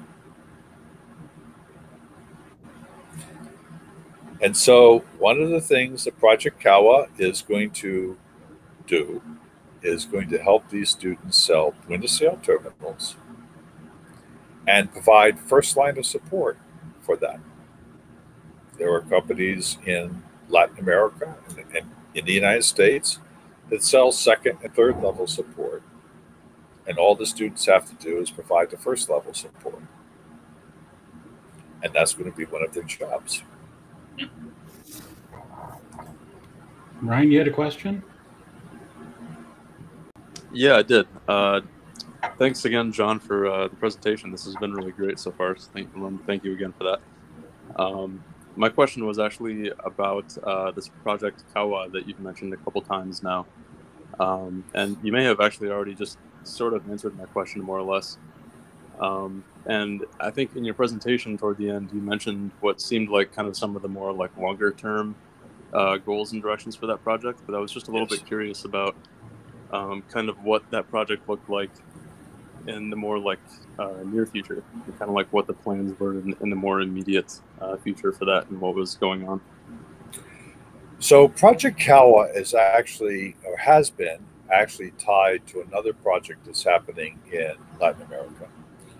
Um, this project, the other side of this project is that the Raspberry Pi, which costs $35 in the United States, By the time you buy it on the street in Brazil, it costs $150. That's because it happens like this. A $35 Raspberry Pi costs $20 to ship to Brazil with $5 of insurance. That's $60 on the receipt. It hits customs going into Brazil and they hit it with a 100% tax. So now it's $120 for the $35 Raspberry Pi. Then, if it's going to a store to be sold to an end user customer, well, the store has to make a profit. And so now it's $150. And to people whose GDP is two thirds of what ours is, it's like it's $200. Yeah. So if you give a $35 Raspberry Pi to a high school student and they burned it up or destroy it, you go, be more careful next time. Here's another one. But when it's $200, it's not as quite as easy. Sure. And so, what we wanted to do originally was just to manufacture Raspberry Pis in Brazil. Because the secret is that if you do the manufacturing in Brazil, you put the parts onto the printed circuit board in Brazil, then the taxes on the parts is 16%, not 100. And if you there are certain parts that aren't taxed at all. So if there's no companies in Brazil that's capable of making those parts, there's no taxes on them when they come in. That's the no tax on the on the SOC, no tax on the RAM, no tax on da, da, da, da, da. So we would be able to reduce the cost of these boards dramatically, at the same time giving jobs to Brazilians. Um, and then, in addition to all of that, there came the concept of, well, why not design and manufacture these little computers in Brazil? Come up with a better Raspberry Pi. Believe me, there's lots of stuff that's wrong with the Raspberry Pi. Um, so we've been working on that project for several years. The doing the thin clients and the server systems was a great idea.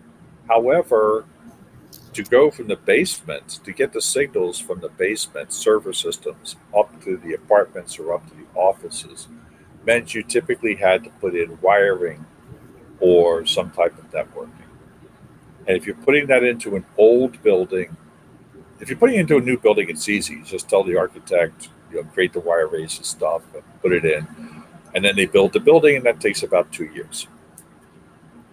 If you're putting it into an old building, it's harder to put in that networking. And it was just recently that I figured out how to do that. And it became so easy that we can actually move forward with that now. I'll tell you in a moment what the what the solution was.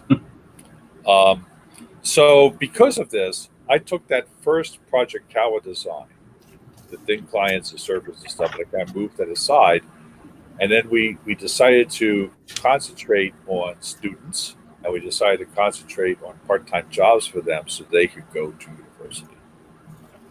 And so then we started creating some small projects, small products that would use these little computers.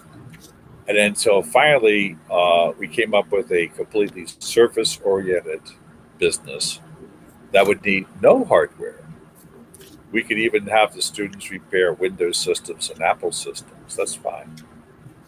But, you know, be able to afford university that way. Um, but now the little computers are almost on the verge of being able to be produced. So we want to go back to that model. And uh, and we have 100 students in Argentina, Buenos Aires, Argentina, we have a, a, university that's very that's bought into this. They say this is a great thing both for the students, for the university, for the small business people. We have a couple of universities in Brazil that are doing this, and so we want to start this pilot, get this going, show people it can be done, show people, you know, get the students involved, and when we get the students be successful at this, then the students that are already there become the mentors of the next students coming in. So, one of the things we need are mentors because you guys may remember when you were doing your first sale or going for your first job and your knees were shaking together and you, you said, I, don't, I don't know what I'm doing. I, I really don't know what I'm doing. But there was that one person who may have helped you. That was your mentor. And what we could what we could use are mentors to work with these students and help them through this. It's interesting. A lot of these kids in Latin America have been taking care of their families' computers since the age of eight.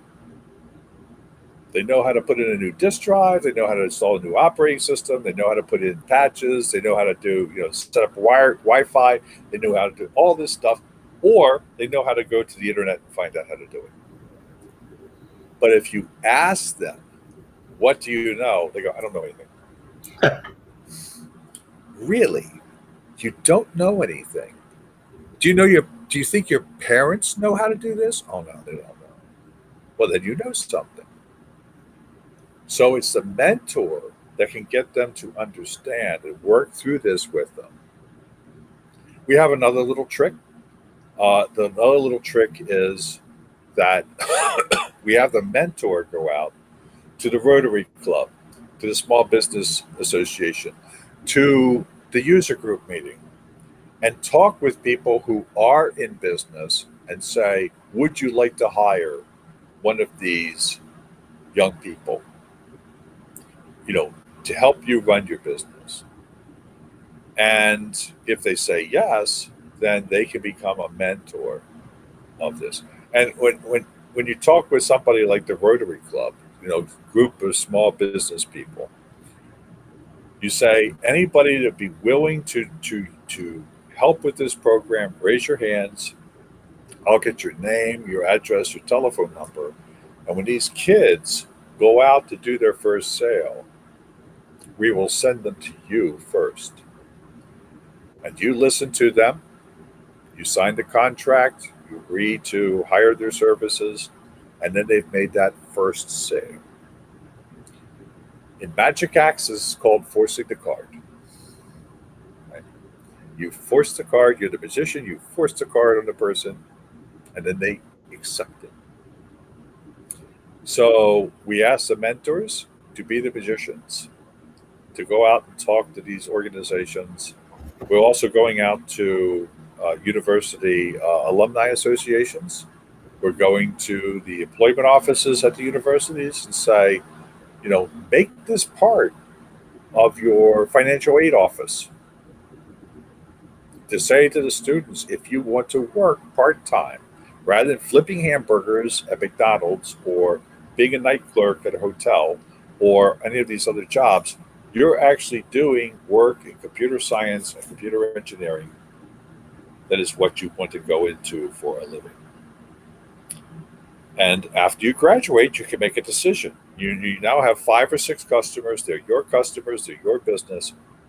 You can either expand that business and keep going, or maybe you want to do something else. And if you want to do something else, you can sell your business to an incoming freshman and say to them, You take over giving the support that I'm already doing for these people. And you could even walk away with a little bit of money from that to help you start your next business. So, you know, Project Cauã, what Project Cauã does is teach the students the business aspects of things, things like doing subcontracting. You don't know how to do something, but maybe somebody else does. It's not in your contract with your customer. This is something your customer wants to do. This above and beyond the contract. So you subcontract to somebody else, and the customer pays you extra money outside of your contract to get this work done that they want to get done. This is what subcontracting means. This is how you do it. Go do it. We talk. There's there's a lot of companies out there that do support over the internet, and every once in a while they have somebody call them up. A shop owner calls them up and says, "My computer's not working." They go, "Okay, tell us what's wrong." Well, it's not working. Okay. And after about six or seven hours on the phone with it's not working, they hop in their car and they drive for three or four hours to get to the customer site and they find out their mouse is unplugged. and if they just had one of these students who was relatively close, who could walk over to the customer site and see what's wrong, and then talk with the guy on the on the, on the telephone, it might cut that six or seven hours down to 30 minutes. And so I have a lot of people say, hey, you know, these support companies, they they, they would, don't want to see this. I've, I've gone to talk to support companies. They say, bring it on, bring it on. We would love to have this. Well, yeah, it's the difference between low hanging fruit, honestly. It's like if you got someone who can do the really easy stuff, you don't have to worry about sending a tech out for four hours. Exactly. Boots on the ground, right? Yeah, exactly. So Yeah. these guys, these guys who do, who've been doing this frontline work over the telephone, they get to now move up to what we call the deck seven, second level support. You know, that all the little stuff is and and because this is not a, this is not a break and fix contract. A break and fix contract, something breaks, and you you go out to fix it. This is more of a continual service contract that every week the student shows up they look at your error logs they check to see if you have disk space they see that all the patches are applied and so forth and so on. And they they try and make sure that your system does not break. Um, we have lots of examples of customers who one guy had gotten a brand new computer and he was just complaining about how slow it was. And so this kid went in to look at it and said, Well, whoever gave you this computer, all they did was install the bare OEM operating system.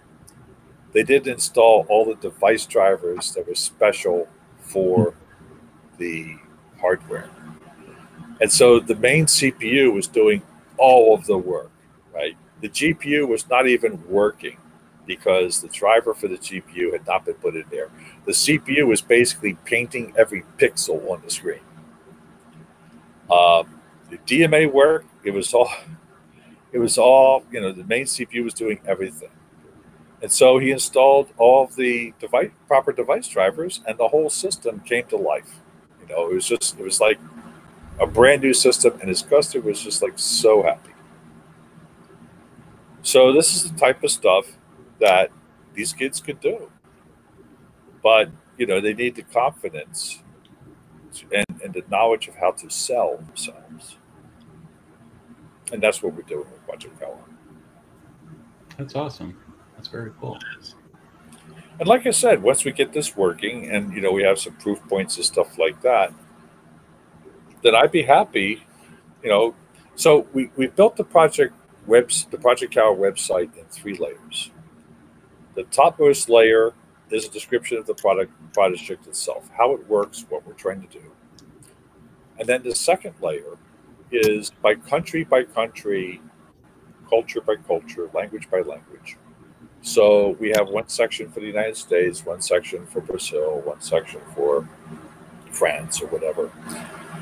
And that's because employment laws and contracts and legal stuff tend to be on a country by country basis. Mhm. So you need to have different countries and to a certain extent, different languages. And then below that, for each country, we have smaller sections, which are might might, might be a city, or in something like Sao, Sao Paulo, it would be three or four sections because Sao Paulo is a big city. And this would be for the mentor. This would be under the mentor's control um, and be working with the different groups, the different, uh, what we call Project Cauã professionals inside of that area. So it's it's really a, a, a pyramid, but unlike most pyramid schemes, it, it, it, stops at that level. It doesn't try and go than that. And uh, and what we're looking for is mentors who can go in. So once we get it working and we can demonstrate that, then we'll reach out to more and more potential mentors. And like I said, in a lot of cases, the successful students can become the mentors of the new students coming in. So that's where that's what we're doing. I did show this plan one time to a couple of financiers in Brazil, and after they read it and understood it, they looked at me and they said, you know, this could scale very large. And I said, yes, I know. So I would like to have, you know, 10 or 15 million Project Tower professionals around the world. But what I don't want is I don't want one company to have 10 or 15 million employees. What I want is 10 or 15 million companies to each have one or two employees. And so when people do the work that they're doing, the money goes into their pocket, not into somebody else's pocket. That's what I want. Because if you have one company that has that many employees, you're going to find out that the government gets very nervous about it. That company has a lot of political power that most politicians don't want to see.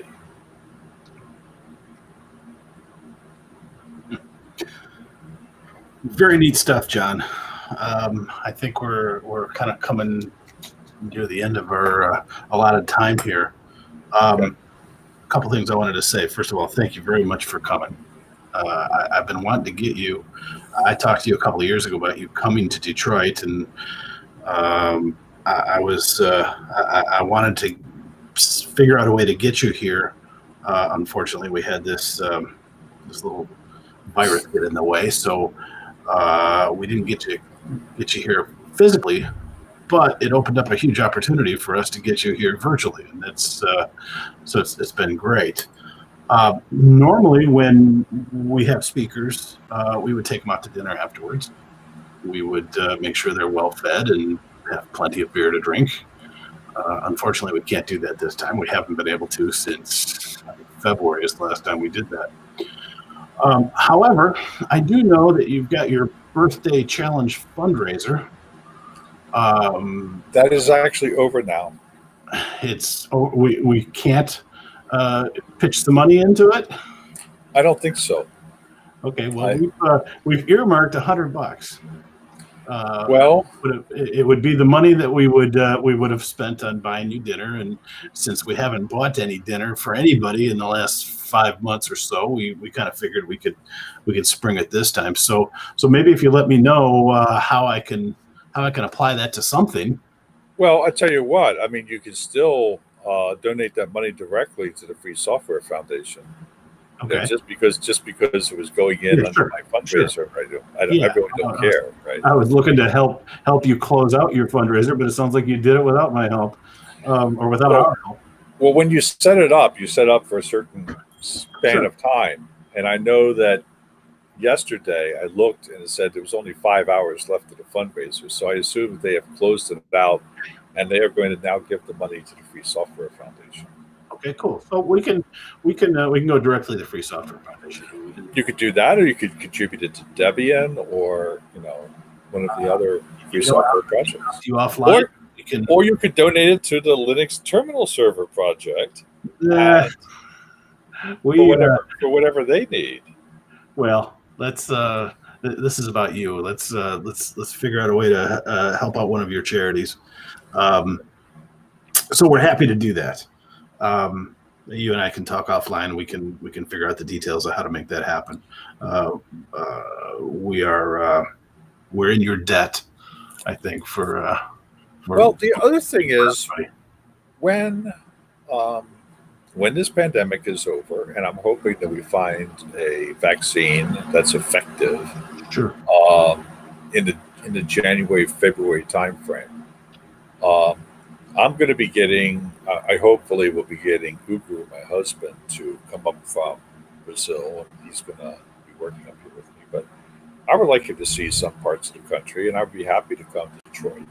Well, Um, and I would really like to talk with some of your civic leaders because by that Sure. time we should have Cauã really working, sure, sure. really, really have a proof proof points and stuff. And uh, I would really like to see it. So very close to my house is a place called Lowell, Massachusetts. Mhm. I don't know if you've ever heard of it before. Oh, yeah. Well, Lowell was the first place in the United States to act as an industrial city. And then it went downhill, and they had a lot of uh, empty mill buildings and stuff. But they reinvented it into a tech city, and now it's vibrant again. Hmm So I, I would like to see the same thing happen to Detroit. You know? And I think the free software would be an excellent way of doing that. Sure, sure. Well, uh, it, we Detroit has uh, has one of the largest collections of uh, engineers in the world with the automotive industries. I Uh, know. people around here they they get tech, right? But they- get tech, but what you need is you need you need a plan. You need a business plan to be able to help you, you know, come up with the idea, develop the the process of manufacturing and stuff and, and getting it out there. And I think that free software and free culture is the way of helping people get started with that Sure. and and then and I'm a great believer in the cooperative, right? The cooperative Mhm. style of companies, so that the employees own the company. There's not some big boss up there that owns it. Sure. There's a bunch of stockholders there. That you know, and actually, if employees had owned the automotive the automotive industry, Detroit might never have gone downhill the way it had Hmm. because employees would not have voted to move the manufacturing overseas. Sure. Sure. Sure. Well, we still have some manufacturing here. It's not it's certainly not not the scale that it used to be. Right. I did see one question on here. Uh, Gemini asked this question. Gemini, do you want to ask the question yourself? I turned my uh, chat off. so Yeah, that's right. Go ahead. Yeah, I just wanted to find out how do we um, register to help with uh, Project Cauã. I was looking at the website and there does not seem a way for us Right. to register. so like I said, we've we've gone through this cycle of Project Cauã several times, and we're about to start it up again. I'm about to reach out for some funding to make the website into what I want to see it, and at that point, we will also uh, set up a thing for people to volunteer in a specific way. So right now, um, if you just go to the watch the videos and stuff like that at the top, you know, explaining why Project Cauã would be good for students, why it would be good for mentors, why it would be good for customers. Um, we hope to get this funding started within a month's time. And with that time, we would open it up. And the other thing about Project Cauã is nothing is closed about it. So every single piece of Project Cauã will be completely open. And you would be able to use the facilities of Project Cauã. You'd be able to read them even without logging in, even without creating a login. Now, if you want to talk to people, if you want to ask questions, we ask you to create a login. We also ask you to belong to or, or to agree to a code of conduct because we don't want people on there to be bullied. We don't want people on there to feel uncomfortable. We don't want people to, you know.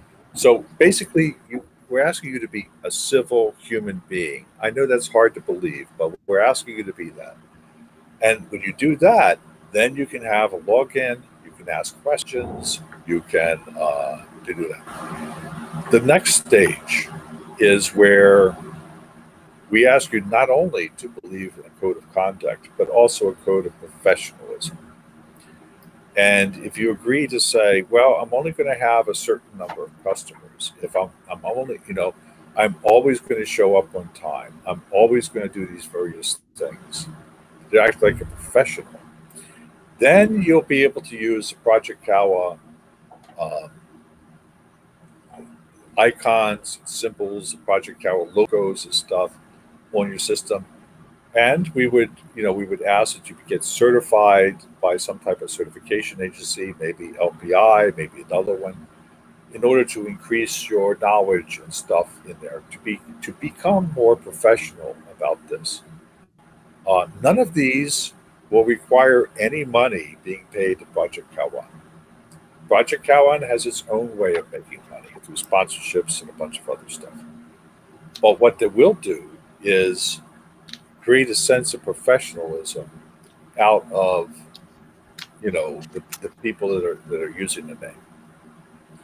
And so, you know, if you understand all of this, then you could become a, a mentor, particularly on that uppermost level, the Project Cauã uh, professional level. So, you know, hang on for a couple months, and as we get this stuff set up, I'll be happy to send out the information to your group. Great. Well, uh, you can send that directly to me if you'd like. I, I can make sure it gets uh, distributed properly. Okay. Um, so yeah, it's uh, about seven minutes to nine. Uh, Jon, I can't tell you how much I appreciate you coming. Yes, thank you very much. Uh, I appreciate you guys. Yes. hours of your time, and uh, Thank you so much. appreciate it. And uh, I look forward to uh, when I can travel through New Hampshire again sometime and stop, and we'll we'll have another fine meal. Well, and I hope that uh, I don't think you've ever met Ugu. No, Well, I'd like you. I'd like you to meet him and him to meet you. yeah, that would be great. We do tend to do an afterglow. Um, so it, the meeting, quote unquote, ends at around nine o'clock, and then we go to our dinner, quote unquote. But since we don't have dinner time, if you if you like to stick around, please feel free. I'm going to duck downstairs and turn the streaming and all that other stuff off. So everyone who's watching via the stream, thank you very much, and uh, we'll look forward to seeing you next month. So thank you, everyone. Thanks. Thank Ben. you. Thanks again, Jon. I really enjoyed it tonight. Thanks. And I want to tell you, when you offered to come to Detroit, that's recorded.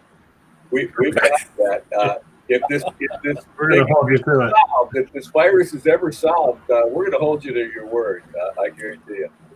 Well, Do whatever you said we can do that.